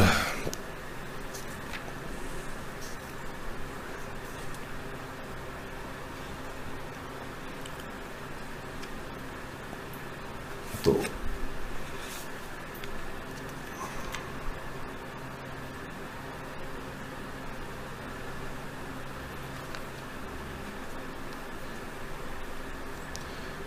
اس پر ابو حذیفہ تھے جو اتبا کے بیٹے تھے۔ مسلمان تھے۔ ان کے منہ سے نکل گیا کہ یا رسول اللہ، ہمارا چچا اور ہمارا باپ سامنے آئے تو ہم اسی گردن اڑا دیں۔ اور آپ کا باپ اور آپ کا چچا اور آپ کا کوئی سامنے آئے تو ہم اس کو چھوڑ دیں۔ تو ایسے نہیں ہوگا۔ تو میری گردن، میرے سامنے تو آیا تو میں ان کی گردن اڑا دوں گا۔ تو جیسے صحابہ کی آپ وہ دیکھیں۔ کیا کہتے ہیں؟ ہاں نہیں جرت دیکھیں اور کیا کہنا چاہیے اس کو؟ یعنی بے تکلبی اور صفائی قلب دیکھیں۔ یہ نہیں کہ اس بات کے اوپر کوئی پیچھے چیم ہوئی ہیں چوڑ چوڑ کی نہیں کہ سامنے کہا کہ رسول ہمارا چچا، ہمارا باپ سامنے آئے تو اس کے لیے حکم یہ گردن اڑا دیں، اور آپ کا چچا سامنے آئے تو اس کو چھوڑ دیں۔ تو آپ نے فرمایا کہ اچھا وجہ تو ان کو پتہ نہیں تھی نا؟ وہ تو سمجھ رہے ہیں کہ یہ بھی اسی طرح مشرق ہے۔ وجہ یہ ہے، بعض اس میں آتا ہے کہ حضرت عباس جو ہے، مسلمان ہو گئے تھے اپنے اسلام چھپایا ہوا تھا۔ یہ بھی آتا ہے، سیرت کتابوں کے اندر۔ ام فضل کہتی ہیں، مسلمان ہو گئے۔ ان کی جو اہلیہ تھی۔ تو آپ نے کہا کہ کیا تم رسول کی حضرت حضور کو یہ بات، یہ یہ انہوں نے سامنے نہیں کہی یہ بات۔ یہ بات انہوں نے یعنی کہیں زور سے سب کے سامنے کی حضور نہیں تھی حضور کو پہنچی یہ بات۔ تو آپ نے فرمایا کہ تم اب رسول کے چچا کا چہرہ خون آلود کرو گے تلوار سے۔ مطلب یہ تھا کہ جو مسلمان بھی ہو یا جس جس نے، اور جس اسلام پر ان کے احسانات بیت اقبا انہی کے سامنے ہوئی، انہوں نے کروائی ایک طرح سے۔ تو تمر فاروق نے اپنی عادت کے مطابق کہا کہ یا رسول اللہ، مجھے آپ اجازت دیں، میں ابو ضفائی گردن اڑا دوں، یہ منافق ہو گیا۔ تو آپ نے کہا کہ نہیں، تو آپ نے اس کی اجازت نہیں دی۔ اب حضرت ابو ضفا فرماتے ہیں کہ بس یہ بات میرے منہ سے نکل گئی۔ باقی ساری زندگی مجھے اپنی اس بات کی کڑواہٹ کا احساس ہوتا رہا۔ ساری زندگی اور میں کہا کرتا تھا، سوچا کرتا تھا کہ اس بات کا کفارہ سوائے شہادت کے کچھ اور نہیں۔ کہ میں شہید ہو جاؤں تو شاید یہ جو بات میرے منہ سے وہ جملہ نکلا تھا تو شاید وہ میرا کفارہ اس کے علاوہ کوئی نہیں۔ پر اللہ تعالیٰ نے جنگ امامہ کے اندر ان کو شہادت نصیب فرماتی۔ مسلمانوں کی طرف سے لڑتے۔ خیر، اب یہ ہوا۔ آگے جا کر اب وہ کسی وقت، اگلی دفعہ انشاءاللہ سے کچھ مزید تفصیل بتاؤں گا آپ کو اس میں کیا وہ ہوگا۔ لیکن یہ ہے کہ لشکر دونوں آمنے سامنے آ گئے اور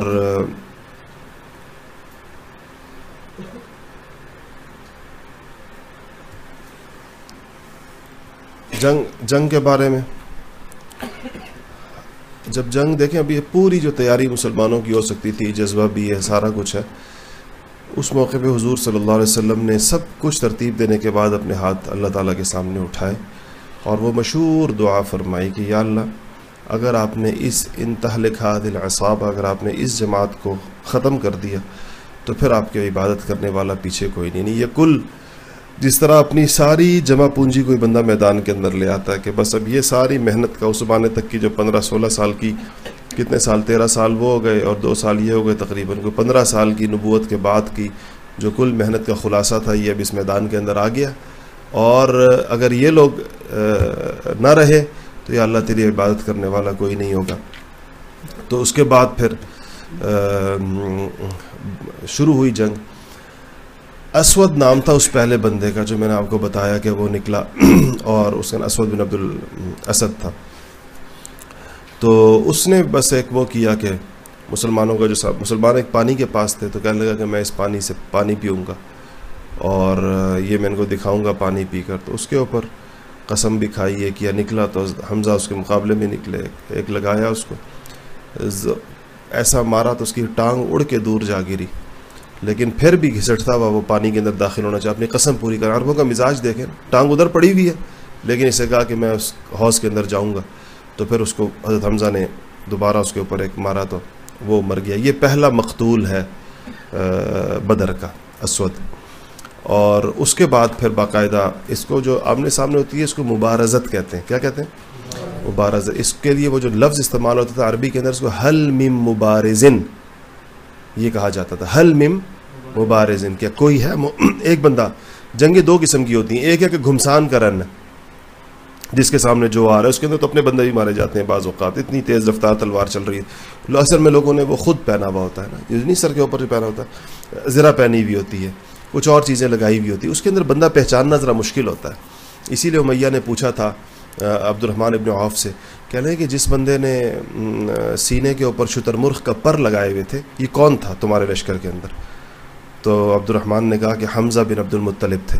کہا، خدائی قسم، ہماری اصل بربادی اس شخص نے کی ہے۔ کہتے ہیں اصل تباہی لشکر میں اس نے کی تو وہ آئے تو پہلا پہلا، پہلی مبارزت تھی تو اچھا پہلی مبارزت کا بڑا بڑا ایک نفسیاتی اثر بہت زیادہ ہوتا ہے کہ آپ اس کے اندر کون کرتا ہے۔ اس لیے قریش نے اپنے بالکل آیان سامنے بھیجے۔ جو میں نے آپ کو بھی بتایا تھا تھوڑی دیر پہلے کہ اتبا کو بھیجا، شیبہ کو بھیجا اور ولید کو بھیجا۔ تو ادھر سے دو یہ جو ہیں اوف نکلے اور معوض نکلے۔ اور یہ اوف اور معوض دونوں حضرت سیدہ افرا کے بیٹے تھے۔ اور باپ کا نام ان کے حارث تھا۔ اوف ابن حارث اور معوض ابن حارث اور تیسرے عبداللہ ابن رواحہ۔ تو انہوں نے پوچھا کون ہے تو انہوں نے بتایا کہ ہم لوگ ہیں۔ انہوں نے کہا نہیں، ان سے کہا کہ ہم تو اپنے چچزاد بھائیوں کو چاہتے ہیں۔ یہ آپس میں ایک دوسرے کو چچزاد بھائی کہتے ہیں۔ کہتے چچزاد بھائی آئے سامنے، یہ کیا انصار سے لوگ آ گئے سامنے۔ تو کہا کہ آواز لگائی وہاں سے کہ محمد، ہمارے ہمسروں کو بھیجو، برابر کے لوگ جوڑ کو بھیج یعنی جوڑ کا جوڑ بھیجو۔ تو آپ نے فرمایا، تو آپ نے پھر آپ نے واقع کہ عبید ابن حارث، چچزاد بھائی ہو کہا اٹھیں۔ حمزہ ابن عبد المطلب اٹھیں۔ علی بن نبی طالب، دوسرے چچزاد بھائی کہا کہ آپ بھی اٹھیں، یہ تینوں سامنے گئے۔ تو تعارف کرایا کہ کون؟ وہ عادت وہ ہوتا ہے، وہ تھوڑا سا اس موقع کے اوپر اشعار ہی پڑے جاتے ہیں اور ذرا سینہ وینہ تانا جاتا ہے، پھر کچھ اپنی بہادری پر، وہ جس طرح نہیں، مرحب اور حیدر کرار کے مقابلے میں بھی خیبر کے اندر ہوا، تو پھر کچھ بتاتے ہیں، کبھی اپنے بازو کا بھی بتاتے ہیں، کچھ اپنی تلوار کا نصب بھی بتاتے ہیں، یہ وہ تلوار ہے جس نے فلاں جنگ کے اندر یہ کیا تھا۔ بعض اوقات اپنے گھوڑے کا بھی بتاتے ہیں، یہ وہ گھوڑا ہے۔ تو یہ ایک کلچر ہے، اس جنگ کا نا، تھوڑا سا اس کے اندر خوب زبردست قسم کی ایک دوسرے کے اوپر روب داب ڈالا جاتا ہے، اس کے بعد پھر وہ ہوتا ہے۔ تو اتبا جو ہے، وہ مقابلے میں آیا حضرت عبیدہ کے اور حمزہ سے حمزہ سے شیبہ کا مقابلہ ہوا، حضرت علی سے ولید کا مقابلہ ہوا۔ تو حضرت علی نے اور حضرت حمزہ نے اپنے اپنے مقابل کا ایک ہی وار کے اندر گردن دور جا پڑی۔ البتہ حضرت اتبا حضرت یہ جو تھے، عبیدہ، یہ ذرا بوڑھے تھے، ان کو دیر لگی اور بلکہ ان کو سب سے، ان کو بھی ایک وار لگا، پھر یہ بھی لگے ہوئی یہ دونوں وہ دونوں تو اپنے بالکل گاجر کی طرح اس کے سر کاٹ کے دونوں کے پھر یہ ادھر تشریف لے اور لا کر ادھر آ کر شیبہ کو مارا، لیکن اس پر عبیدہ زخمی ہو گئے تھے۔ کچھ دنوں کے بعد ان کا انتقال ہو گیا زخمی رہنے کے بعد واپسی کے اوپر ان کا انتقال ہو گیا۔ بس پھر اس کے بعد جب یہ پہلا مار کا یہ جو دو تینوں گئے ہیں یعنی آپ خود سوچیں کہ مشرقین مکہ میں سے ایک ہی وار کے اندر اتبا بھی گیا، شیبہ بھی گیا، ولید بھی گیا، تو وہاں تو سراسیم کی بس پھر انہوں نے کہا کہ اب بندہ بھیجنے کا وہ نہیں ہے، پھر عام ہجوم ہو گیا۔ جیسے ہی عام ہجوم ہوا، حضور نے اپنے ہاتھ کھڑے کر دیے گا کہ رسول کہ اللہ آپ نے جو مجھ سے وعدہ فرمایا اس کو پورا فرما، جو مجھ سے فتح کا وعدہ ہے، جو میرے سے سارے وعدے یا اللہ آپ اس کو پورا فرمائے۔ اب جنگ بڑی زوردار طریقے کے ساتھ شروع ہوئی ہے۔ اس موقع کے اوپر دعا بھی پھر آپ نے کی اور پھر فرشتوں کا نزول شروع ہوا فرشتوں کو صحابہ نے خود بھی دیکھا ہے مشرقین نے بھی دیکھا ہے۔ قرآن بھی کہتا ہے۔ صحابہ کہتے ہیں کہ ہم ایسا ہوا، کئی صحابہ کہتے ہیں کہ ہم جب اگلے بندے کی طرف گئے، ابھی ہم نے تلوار یوں اٹھائی نہیں تھی، اٹھانے کا وہ کیا، اسی گردن دور پڑی تھی۔ ہم سوچتا ہے بندہ بھی نظر نہیں آ رہا، ہم سے پہلے کس نے مارا اور اس طرح مشرقین بھی پوچھا کرتے تھے۔ مشرقین جب گرفتار ہوئے تو کہنے لگے کہ تمہارے اندر تم تم لوگوں سے زیادہ ہمارے اندر وہ جو سفید سرخ و سفید قسم کے لوگ، سفید گھوڑوں کے اوپر تھے اور بہت تیزی کے ساتھ وہ لشکر کے اندر گھسے ہیں۔ وہ کون تھے؟ یہ کمک کہاں سے آئی تھی تمہاری؟ تو وہ وہ آسمانی مدد جو اللہ جل شاہ نے فرمایا تھا کہ ہم مصومین اترتے رہیں گے، یہ نشان زد فرشتے آسمانوں سے۔ حضور صلی اللہ علیہ وسلم نے بیٹھے ہوئے تھے، جب دیکھا تو آپ نے مٹھی کے اندر ریت بھری اور آپ نے کہا کہ شاہت الوجوہ اور آپ نے یوں کر کے پھینکی سب کی آنکھوں میں گئی یہ اس کے بارے میں وما رمئی عید رمئی ولاکن اللہ رما۔ اللہ نے فرما آپ نے نہیں پھینک پہنچائی نہیں۔ پھر ایک دم آپ نے جبرائیل امین کو دیکھا تو آپ نے کھڑے ہو کر ایک آپ ایک جوش مسرت سے کھڑے ہو گئے۔ آپ نے بغیر صدیق سے کہا کہ جبرائیل آ گئے۔ اور یہ کہا کہ خاک آلود ہیں جبرائیل یعنی جس طرح کوئی لشکری کسی جگہ پر سفر کر کے آتا ہے، تو کہا کہ دھول اڑاتے ہوئے جبرائیل امین اس اس لشکر کے لیے پہنچے۔ ہیں اور اس سے پہلے آپ کو ہلکی سی نیند کی ایک جھونکا سا آیا تو جھونکے میں آپ نے ایک دم جیسے ہی سر اٹھایا تو آپ نے کہا کہ جبرائیل جبرائیل اتر گئے۔ پھر خوب زوردار طریقے سے آپ نے جب جو آپ ترغیب دیتے تھے نا، تو آپ نے کہا کہ لوگوں سے کہا کہ اٹھو اور سابق یعنی جنت کی طرف مسابقت کرو۔ اور جنت کی طرف چڑھو، جس کی چوڑائی زمین و آسمان سے زیادہ ہے، اور اس میں یعنی جو جنت کا ایک شوق ہوتا ہے، وہ آپ دلا رہے تھے۔ اور جس کو قرآن نے کہا نا ہر رد المؤمنین علی القتال کے نبی، مسلمانوں کو قتال پر ابھاری ہے شوق دلائی ہے ان کو۔ ہر رز تحریض کہتے ہیں ترغیب دینے کو، شوق دلانے کو۔ تو آپ نے خوب شوق دلایا جنت کا۔ تو عمیر ابن حمام ایک صحابی ہیں تو انہوں نے کہا کہ بہت خوب بہت خوب فرمایا۔ جیسے نہیں، وہ خطیب کو نہیں بندہ کہتا جی واہ سبحان اللہ، ایسا کہتا ہے۔ تو سبحان اللہ، آپ جو ترغیب دے رہے ہو، کہتے ہیں، واہ سبحان اللہ سبحان اللہ۔ تو آپ نے کہا، کیا سبحان اللہ سبحان اللہ کر رہے ہو؟ اسے پوچھا تو کہا کہ رسول اللہ، میں اس یعنی اس بات سے لطف اٹھا رہا ہوں کہ آپ ہمیں، آپ کے وعدوں سے زیادہ سچے وعدے کس کے ہو سکتے ہیں؟ اور آپ ہمیں، آپ کی زبان مبارک یعنی ہم یہ باتیں اور سننا چاہتے ہیں کہ ہمیں یقین ہو کہ ہم ہم جو ہے نا تو پھر آپ نے فرمایا کہ تو کہا کہ کہا کہ ہم اس مارکے میں پھر جیسا پہلے صحابہ کی حالت پوچھنے کی، کہ رسول اللہ اگر ہم اس کے اندر گئے، جھونک گئے اور ہم اس میں جا کر شہید ہو گئے تو جنت، آپ نے کہا سیدھے جنت۔ تو کہتے ہیں ان کے ہاتھ میں کھجور تھی، وہ کھا رہے تھے کھانا۔ تو کہنے لگے کہ اس کھجور کا پورا کرنا جو ہے نا، اتنا وقت کس کے پاس ہے؟ کہ وہ ایک مٹھی کی کھجوریں ساری ختم کریں کھجوریں یوں اٹھائیں اور گڑاپ اس کے اندر گئے اور جا کر شہید ہو گئے۔ تو پھر اس کے بعد جو ہے وہ آپ نے آئے ہے وہی جو آف تھے نا، اب آپ کو پتہ ہے زرہیں تو کم تھی جو تھا اب تو آگے میدان کے اندر۔ آف جو افرا کے بیٹے تھے آف ابن افرا، وہ خاتون مشہور۔ تو اس نے کہا کہ یا رسول اللہ، اب صحابہ کے سوالات، یا رسول اللہ اللہ تعالیٰ اپنے بندے کی کس حالت پہ بڑا خوش ہوتا ہے؟ کس حال میں اللہ اپنے بندے کو دے کر تو خوش ہوتا ہے؟ آپ نے کہا اللہ اس بندے خوش ہوتا ہے کہ اس کے پاس کوئی زرا نہ ہو، اس کے پاس اور وہ گھس جائے۔ آپ نے کہا کہ وہ اپنا ہاتھ ڈبو دے مشرقین کے لشکر کے اندر مطلب پورے طور پر اس کے اندر گھس جائے۔ تو وہ اس کا مقصد تو یہ تھا کہ جن لوگوں کے پاس زرہیں نہیں ہیں، تو وہ یہ نہ سمجھے کہ ہمارے پاس زرہ تھی زریں تو تھیں دو تین چار، باقی تو ویسے دنوں کے بغیر تھے۔ ان کے پاس زرہ تھی، اپنی زرہ اتار کے پھینکی اور اس کے بعد جو ہے نا سیدھے اس کے اندر۔ حالانکہ اس کا بظاہر اس کا مقصد یہ تھا کہ یہ ان لوگوں کے لیے جن کے پاس چیزیں نہیں ہیں۔ کیونکہ اسباب تو میں نے بتایا کہ رسول اللہ پورے کرتے تھے، لیکن آپ دیکھیں میں کہتا ہوں یہ توازن ہے۔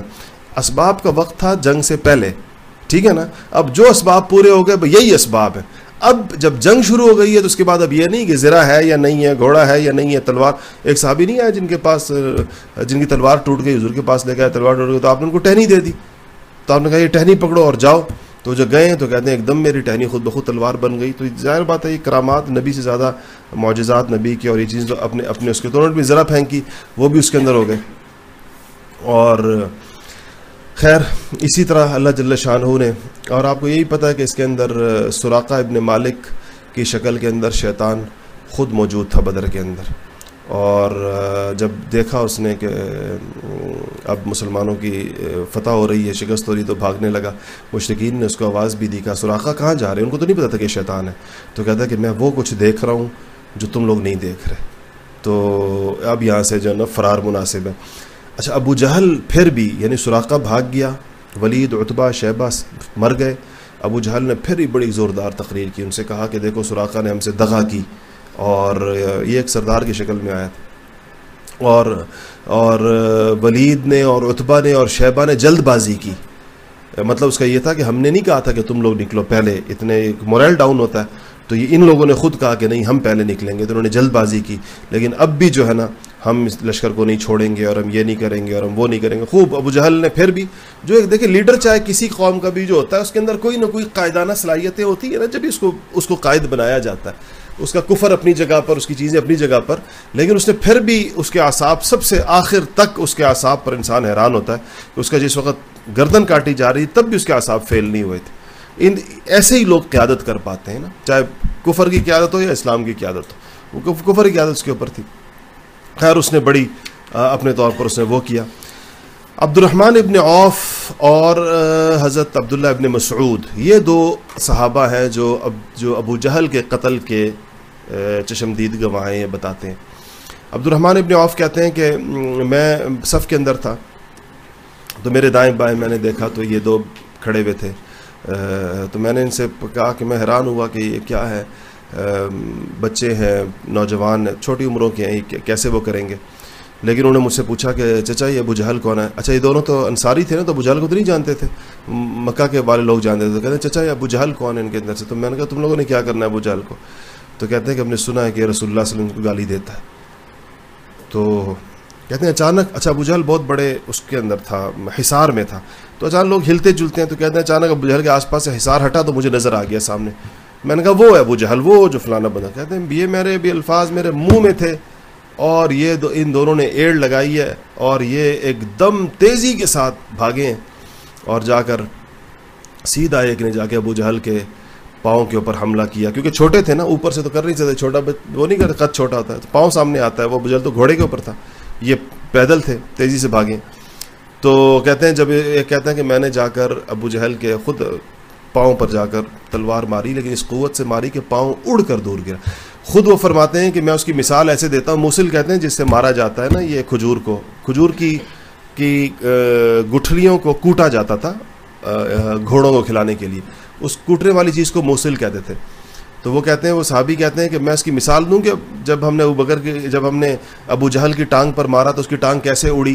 ایسے اڑی جیسے ہم جب گٹھلیوں کو پیستے ہوئے موسل مارتے ہیں تو جو گٹھلی اڑتی ہے نا وہاں سے درمیان میں سے اٹھ اڑ کے گئے۔ ایسے اس کی ٹانگ اڑی۔ جب ہم نے اس کی ٹانگ کے اوپر مار تو ایسے اس کے اوپر ایک ایک, ایک زور لگا۔ تو خیر ان میں سے ایک نے وہ کیا اور جھپٹ کے گرا دی۔ بعض روایت یہ آتی ہیں کہ وہ زخمی کر دیا تھا انہوں نے گرا دیا تھا۔ اور عبداللہ ابن مسعود پھر پہنچے ہیں اور انہوں نے جا کر ان کی اس کی گردن کو الگ کیا جو اس کا مکالمہ ہوا ہے وہ بھی عبداللہ ابن مسعود کے ساتھ ہوا ہے۔ تو ان میں سے ایک معاذ ابن عمر ہے ابن افرا ابن جموح اور دوسرے جو ہے وہ معوض ہیں۔ اور یعنی ایک معاذ اور بعض کہتے ہیں کہ ایک معاذ ابن عمر ابن جموح ہیں اور دوسرے معاذ ابن افرا ہیں۔ اب یہ افرا صاحبہ کے تینوں بیٹے موجود ہیں نا، جنگ کے اندر اوف بھی ہیں معاذ بھی ہیں اور معوض بھی ہیں۔ تو ان میں سے روایات مختلف ناموں کی آتی ہیں، لیکن بہرحال ایک تو یا معوض ابن افرا ہیں اور یا معاذ ابن افرا اگر معاذ ہیں، تو پھر دوسرے معاذ ابن عمر ابن جموح ہیں۔ تو پھر یہ دونوں معاذ ہیں۔ اور بعض روایات جو آتی ہیں کہ ایک معاذ ہے، ایک معوض ہے۔ تو بہرحال یہ ان کے بارے میں مختلف وہ ہے۔ اور پھر جب یہ مارکا ختم ہوا، تو حضور صلی اللہ علیہ وسلم نے باقاعدہ پوچھا کہ ابو جہل کا انجام کیا ہوا؟ تو کہتے ہیں تو ہم گئے، اس کو ڈھونڈا۔ تو عبداللہ، یہاں عبداللہ ابن مسعود فرماتے ہیں کہ جب میں نے حضور کے کہنے کے اوپر ہم گئے اور ہم نے ڈھونڈا تو میں نے دیکھا تو اس کی سانس چل رہی تھی۔ پڑا ہوا تھا مردوں میں۔ مردہ سمجھ لیا گیا، لیکن جب میں گیا تو اس کی سانس چل رہی تھی۔ تو کہتے ہیں جب میں وہاں پر گیا تو اس نے کہا کہ تو میں نے اس کو پکڑ، گردن کاٹنے کے لیے اس کو اس کی داڑھی سے پکڑ لیا۔ تو، اور میں نے کہا کہ، او اللہ کے دشمن، عبداللہ ابن مسعود کہتے آخر اللہ نے تجھے رسوا کیا نا؟ تو کہنے لگا وہ اس کے اوپر کہنے لگا کہ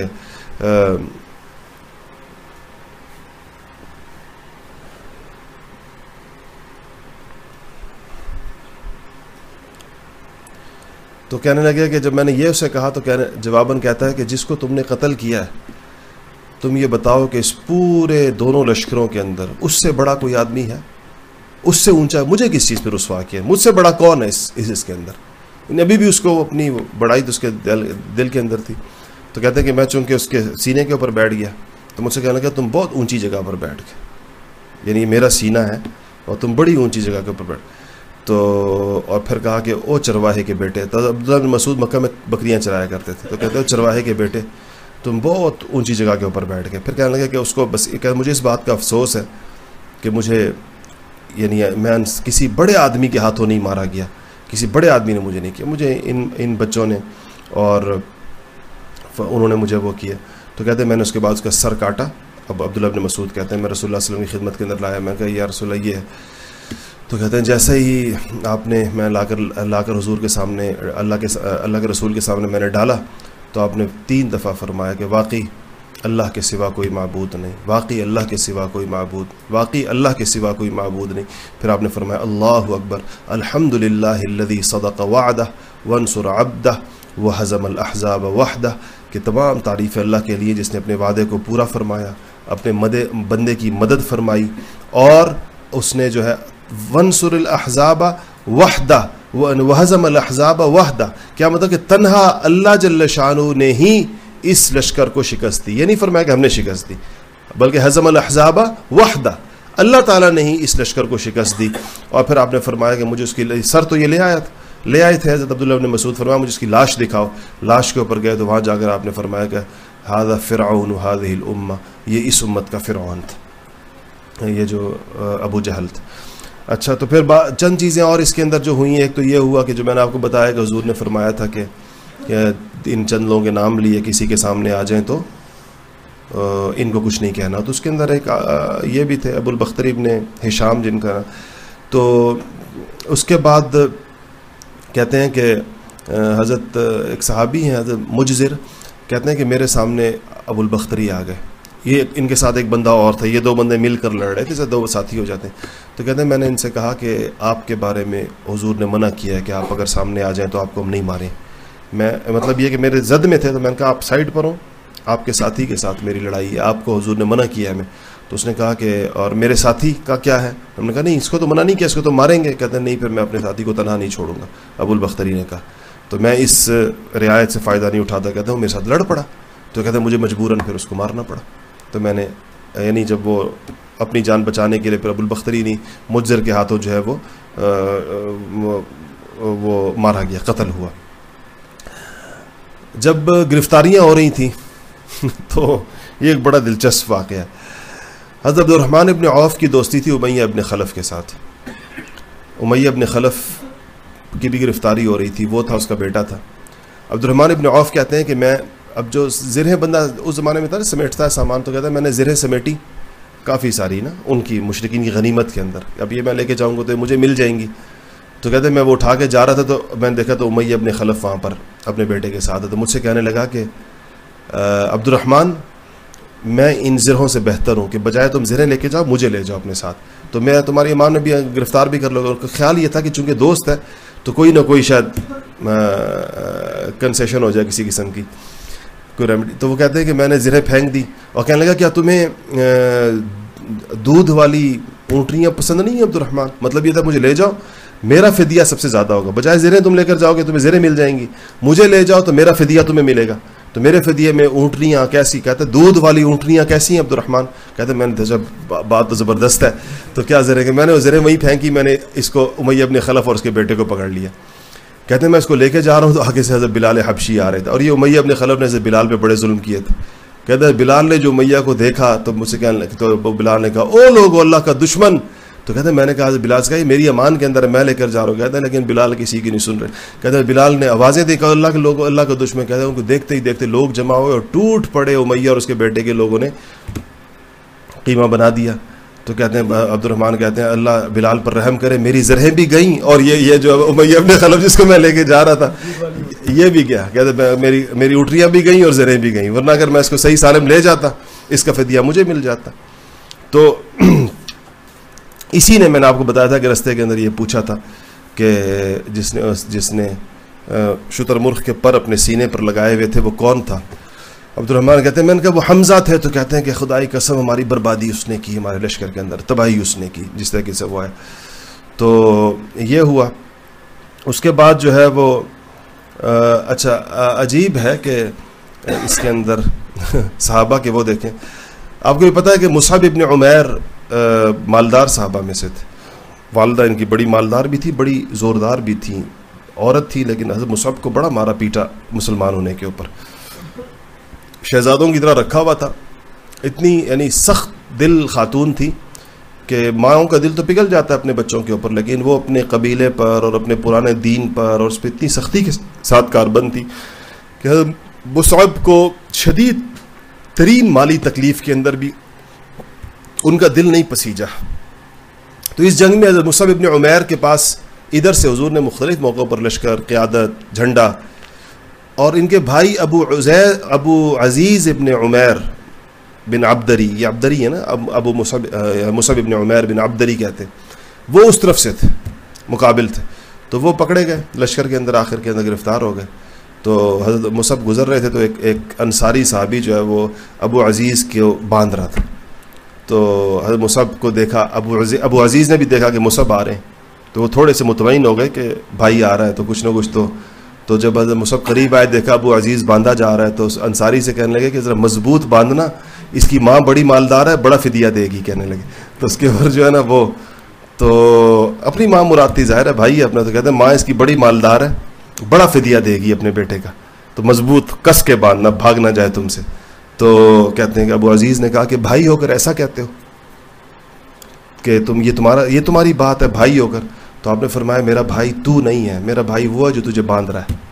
وہ انصاری جو ہے۔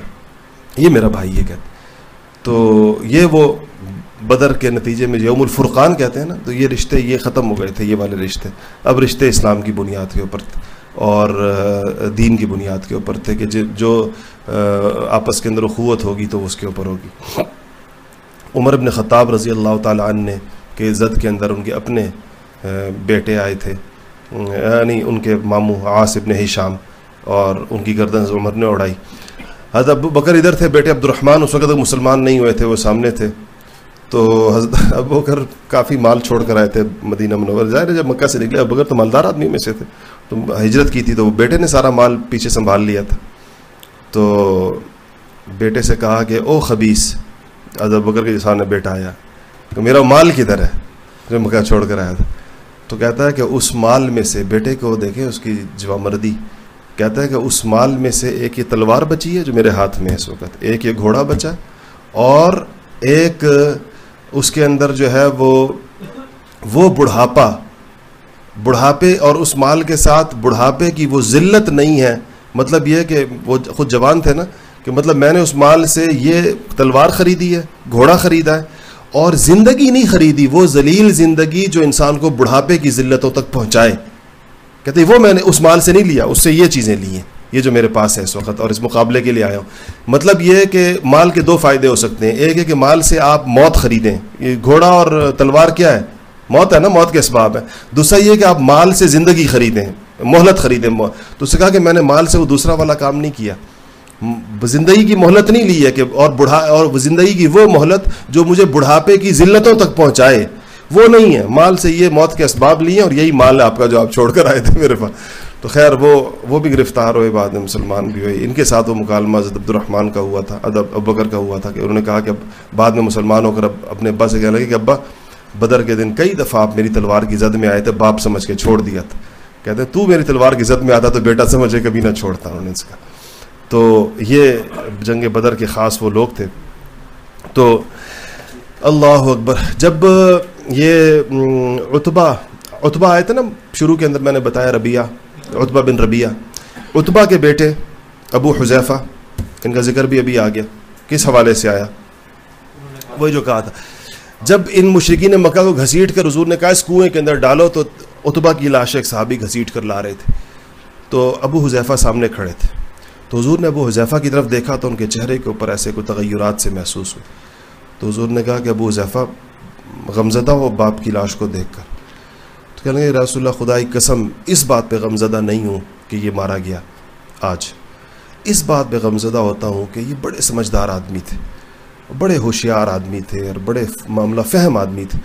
ہمیشہ مجھے یہ ضرور خیال آیا کہ ان کی یہ صلاحیتیں کاش اسلام کے لیے استعمال ہو جائے اس پر مجھے دکھ ہے کہ یہ ان کی صلاحیتوں کے باوجود یہ آج یعنی اس پر یعنی اس بنی کیا فرق کیا کہ اس بات پر نہیں غمزدہ کہ میرا باپ مارا گیا۔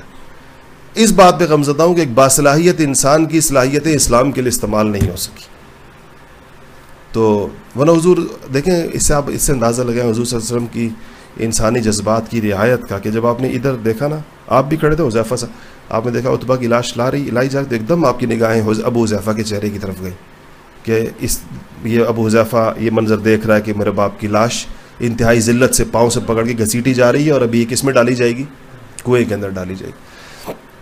خیر، وہاں پر ان کی لاشیں ڈالی گئیں۔ اس کو قلیب بدر کہتے ہیں، جو کنواں ہے جہاں پر سب کی لاشیں ڈالی گئی ہیں۔ اور اس میں جب یہ ختم ہوا، قصہ تو آپ گئے مختولین کے پاس۔ آپ نے دو دفعہ خطاب فرمایا، باقاعدہ مختولین قریش سے۔ تو آپ نے وہاں پر کھڑے ہوئے۔ اس کے اندر یہ تو آپ نے سنا ہوا ہے کہ فتح مسلمانوں میں سے چودہ لوگ شہید ہوئے تھے اس پورے جنگ بدر کے مارکے میں۔ چھ مہاجر، آٹھ انصار۔ اور کفار کے جو ہے وہ ستر مارے گئے، ستر قید ہوئے، باقی بھاگ گئے۔ جو بھاگے تھے، وہ جس طریقے سے مکہ میں داخل ہوئے، وہ بھی ایک عجیب منظر۔ کہتے ہیں، ان کو سمجھ میں، عرب میں تو جنگ شکست کھا کر آنا۔ تو جب یہ بھاگے ہوئے لوگ واپس پہنچے، باقی لشکر تو بھاگ گیا نا، ہزار سے تو اوپر لوگ تھے۔ تو یہ ستر تو قید ہو گئے، ستر مارے گئے، کتنے ہو گئے؟ ایک سو چالیس ہو گئے، باقی بھاگ گئے۔ تو جب بھاگے ہوئے گئے، تب سفیان نے کہا، کچھ سناؤ تو صحیح۔ کیا ہوا؟ اچھا امیہ ابن خلف بھی مارا گیا، یہ جس کو عبد الرحمٰن ابن عوف لے کے جا رہے تھے۔ اس کا بیٹا تھا صفوان ابن امیہ، وہ وہاں بیٹھا ہوا تھا۔ کہتے ہیں کہ بندہ جب آیا تو جو بندہ داخل ہوا اس کے اندر تو ہے سمان، نام اس کے سیرت کتاب میں لکھا ہے سمان۔ شکست کی خبر لے کر تو اس نے کہا کہ گیا تو کہنے لگا کہ اتبا مارا بن ربیہ مارا گیا، شیبہ بن ربیہ مارا گیا، ولید ابن اتبا مارا گیا ابو عمر ابن حشام ابو جہل مارا گیا۔ تو لوگوں نے کہا تو کیا کہہ رہے ہو؟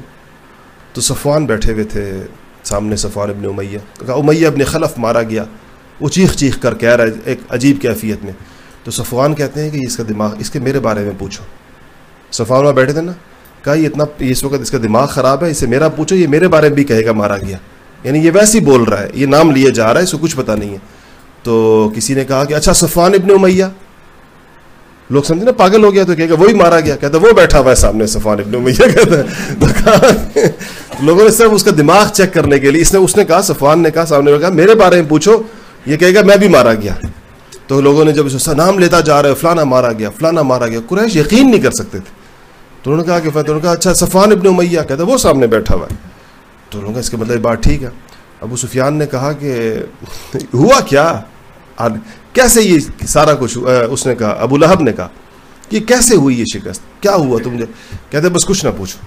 یوں سمجھو کہ ہم نے اپنے کندھے اور اپنی گردنیں سامنے کیے ہوئے تھے اور وہ بھی مسلمان بھی اور کوئی ایک اور مخلوق جو ان کے ساتھ تھی، وہ جہاں سے چاہے ہمیں مار رہے تھے، جہاں سے چاہے ہمیں پکڑ رہے تھے۔ وہ یہ جنگ ایسی جنگ تھی۔ تو بہت ہی ابو لہب کے اوپر انتہائی اس کا اثر ہوا، اعصابی طور پر، بہت زیادہ۔ ایک ہفتے بعد مرا ہے بدر کے، اس کے بعد کہتے ہیں کہ ایک ہفتے کے بعد اس کو گلٹی نکل آئی۔ تعاون کی قسم ہوتی ہے اور وہ بڑی منحوس گلٹی سمجھتے تھے عرب اس کو، اس کے اندر اس میں بڑی متعدی ہوتی تھی۔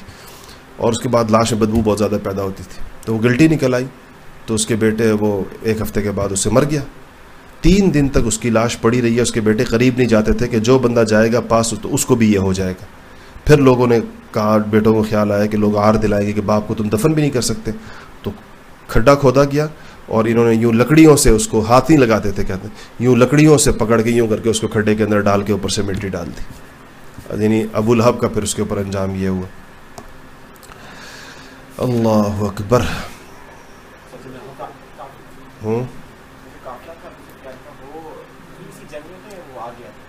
نہیں، وہ پھر اسی اس کے نتیجے کے اندر جو ہے وہ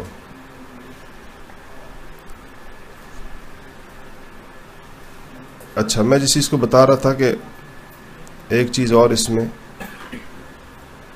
ہاں میں کہہ رہا تھا کہ حضور نے دو دفعہ خطاب فرمایا۔ دو دفعہ۔ ایک یہ آپ نے کہا کہ ان کے پاس کھڑے ہو کر فرمایا کہ اے لوگوں، تم اپنے نبی کے لیے کتنا برا کمبا تھے اور کیسا قبیلہ تھے۔ تم نے مجھے جھٹلایا اوروں نے میری تصدیق کی۔ تم نے مجھے بے یار و مددگار چھوڑا، اوروں نے میری تائید کی۔ تم نے مجھے نکالا، اوروں نے مجھے پناہ دی۔ یہ فرمایا جب وہ کنویں سے باہر تھے۔ پھر ان کو لا کر کنویں کے اندر ڈال دیا گیا۔ اور جب آپ آپ کا یہ معمول تھا کہ جب آپ کسی غزوہ میں کامیاب ہوتے تھے تو پھر تین دن وہاں رہتے تھے، اسی میدان کے اندر۔ تین دن ہوئے تو آپ نے صحابہ سے کہا، چلو بھائی، تیاری کرو، نکلو۔ بدر یعنی بدر میں کامیابی کے بعد تین دن آپ وہاں رہیں۔ پھر نکلے جب بدر سے مدینہ کے لیے روانہ ہونے لگے تو پھر اس کنویں کے پاس سے گزرے۔ تو آپ نے سب کو نام لے لے کر مشرقی نے مکہ کو پکارا، اس کنویں کے اوپر کھڑے ہو کر۔ تو آپ نے کہا کہ، اے فلاں ابن فلاں، اے اتبا ابن، اے شیبہ ابن ربیہ اے اتبا ابن ربیہ اے ولید ابن بئی اے امیہ ابن خلف، اے ابو الحکم ابن ہشام۔ سب کے نام لے کر کہا کہ کیا کیا ہی اچھا ہوتا کہ تم لوگوں نے اللہ اور اس کے رسول کی اطاعت کی ہوتی اور اللہ نے ہم سے جو وعدے کیے تھے، ہم نے اللہ تعالیٰ کے وعدوں کو برحق پایا۔ اور تم سے جو اللہ تعالیٰ نے وعدے کیے تھے، تم نے برحق پایا یا نہیں پایا؟ ہم سے اللہ نے جو وعدے کیے تھے، وہ تو سچے ہو گئے۔ تم سے جو اللہ کے وعدے تھے کفار سے اور مشکین سے، تم سے بھی تو اللہ نے کچھ وعدے کیے۔ یہ بتاؤ کہ وہ سچے تھے یا نہیں تھے۔ تو عمر فاروق نے کہا ہے رسول اللہ آپ ان سے باتیں کر رہے ہیں تو یہ کیا کوئی سنتے ہیں؟ یہ تو مطلب اس میں تو آپ نے فرمایا کہ عمر یہ تم سے زیادہ بہتر سنتے ہیں۔ تم سے زیادہ یہ سن رہے یہیں سے اس سے ایک مشہور مارکت العرا مسئلہ ہے، سماع موتا کا مسئلہ کہلاتا ہے وہ، کہ کیا مردے سنتے ہیں یا نہیں سنتے ہیں۔ تو جو حضرات مردوں کے سننے کے دلائل دیتے ہیں، اس کے اندر ایک اس روایت، بخاری شریف کی روایت۔ تو اس میں ایک اور روایت میں آتا ہے، آپ نے فرمایا تم سے زیادہ سننے والے جواب نہیں دے سکتے۔ تو جو حضرات سماع موتا کے قائل ہیں، سماع سمجھتے ہیں کس کو کہتے ہیں؟ سننے کو۔ اور موتا کس کو کہتے ہیں؟ مردے کو۔ تو جو حضرات سماع موتا کے قائل ہیں، اکثریت جمہور علیہ سنت الجماعت کی، تو ان کے دلائل میں سے ایک دلیل یہ بھی ہے۔ بخاری کی روایت ہے کہ آپ نے کھڑے ہو کر خطاب فرمایا اور عظم فاروق کے اشکال کے اوپر جواب دیا۔ آپ نے کہا کہ تم سے زیادہ بہتر سنتے۔ تو یہ خبر جو ہے، یہ ظاہری بات ہے کہ یہ جو، یہ فتح تھی۔ آپ ذرا سوچیں، اس کو اس تناظر میں لیں کہ دو سال، ڈیڑھ سال پہلے مکہ مکرمہ سے راتوں کی تاریکیوں کے اندر جان بچا کر بچتے ہوئے مدینہ میں داخل ہونے والوں کے ساتھ ڈیڑھ سال کے اندر پانچ سا کیسے اللہ نے پلٹ دی؟ اور کب پلٹا کہ جب وہ وہاں سے ہجرت، اسے الحجرت والجہاد، ہجرت ہوئی، جہاد ہوا اور یعنی وقت کتنا مختصر ہے۔ اور کیسے جلدی اللہ نے ان لوگ کتنے ستائے ہوئے؟ یعنی آپ اس کو جب تک آپ جوڑیں گے نہیں نا مکہ مکرمہ کی زندگی کے ساتھ۔ کہ کیسی تکلیفیں، کیسی مشقتیں، کسی نے مال چھوڑا، کسی نے اسباب چھوڑا، کسی کی بیوی روک لی گئی، کسی کے بچے روک لیے گئے، کسی کو کیسے، کسی کے کسی کو یہاں سے پکڑ کے جس طرح میں نے آپ کو بتایا تھا، واپس لے جایا گیا کو کہیں سے اس حال میں نکلے ہوئے لوگ۔ آج اللہ جل شاہ نے ان کے کلیجوں کی ٹھنڈک کا کیسا سامان پیدا فرمایا۔ اور آسمانوں سے مدد بھی، تائید بھی، جو شہید ہو گئے، جنت بھی، جو کامیاب ہو گئے، ان کی بھی ہر صورت کے اندر کامیابی۔ رسول اللہ صلی اللہ علیہ وسلم کی مصاحبت بھی، جنت کے وعدے بھی۔ کیسے؟ یعنی اہل بدر کے، آپ کو پتہ یہ اسماء بدر، یہ جو ہیں مجھا ان کے نام وظائف میں پڑھے جاتے ہیں۔ یہ تین سو تیرہ نام۔ وظیفے کے اندر یہ اسما یہ شرکائے بدر کے نام مختلف وظائف کے اندر پڑھے جاتے ہیں۔ اسے دعائیں قبول ہوتی ہیں۔ اور آپ نے ایک عجیب الجملہ ارشاد فرمایا، آپ نے کہا کہ اب بدر والے اس کے بعد اب جو بھی کریں، تو یعنی گویا کہ ان کو اللہ جل شاہ نے ان کے لیے جنت کا وعدہ، ان کے لیے جو بھی کرنے کا مطلب ظاہر ہے کہ یہ مطلب نہیں ہوتا کہ وہ کفر بھی کرے فلانا بھی کرے ہاں یہ تو ایک مطلب یہ ہوتا کہ ایک ایسے خاص ہے کہ ان کے لیے خاص قسم کی ایک فضیلت بیان کی جا رہی ہوتی۔ اسی لیے خلفۂ اربا اور اس کے بعد اشرف بشرا اس کے بعد بدریین۔ ان کو بدریین کہتے ہیں۔ صحابہ کا تعارف ہوتا تھا فلانا صحابی کو بدری صحابی بدری صحابی۔ آپ کتنی کتابوں کے اندر آپ پڑھیں گے، حدیث کی روایتوں کے اندر پڑھیں گے کہ فلانا صحابی وہ ہوا بدری وہ بدری تھا۔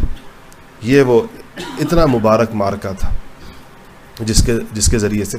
اور اللہ تعالیٰ کی سنت کو آپ دیکھیں، سنت الہی کو، کہ کن مشکلات سے نکل کر اللہ جل شاہ کی جانب سے کس قسم کی کیا کہنا چاہیے؟ نصرتیں اللہ تعالیٰ کی کس طریقے کے ساتھ آتی۔ لیکن اس کا طریقہ یہی ہوتا ہے، جو نبوت کی اس پوری سیرت کو پڑھنے کا مقصد یہ ہوتا ہے، اس کے اندر جو ہمارے لیے اسباق ہے اس پر انشاءاللہ اگلے جمعے کو کچھ تھوڑی سی بات مزید بدر کے اوپر کریں گے اور اس لحاظ سے کریں گے کہ عرب دنیا کے اندر الحمدللہ سیرت بہت اور طریقے کے ساتھ بھی پڑھائی جاتی ہے، فقہ و سیرہ کے نام سے ایک مضمون۔ اس میں اس پہ بات ہوتی ہے کہ اس سے نتائج کیا نکلے؟ اسباق کیا حاصل ہوئے؟ اور اس سے ہمارے لیے کیا لایا عمل ہمارے سامنے آئے کہ جب جو لوگ دین کی محنت کریں گے، دین کے لیے کام کریں گے، یہ واقعات اور یہ پوری سیرت ان کو کیا لائح عمل کیا دیتی ہے؟ کیا چیز سامنے آتی ہے؟ جی آپ کیا کہہ رہے تھے؟ کس نے یہاں سے ہاتھ اٹھایا تھا؟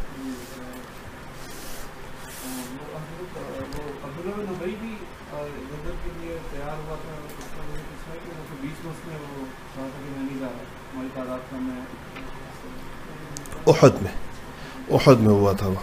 یہ تو میں نے بتایا نا، یہ تو لشکر اس طرح باقاعدہ مدینہ سے کو بہت بڑی تیاری کر کے نہیں نکلا تھا۔ ویسے بھی وہ نہیں تھے ان کے اسباب بھی تیاری کے بہت زیادہ نہیں تھے، لیکن یہ ایسی کوئی بہت زیادہ بڑی تیاری کر کے نہیں نکلا تھا۔ اس لیے بعض بڑے صحابہ بھی اس کے اندر شریک نہیں تھے۔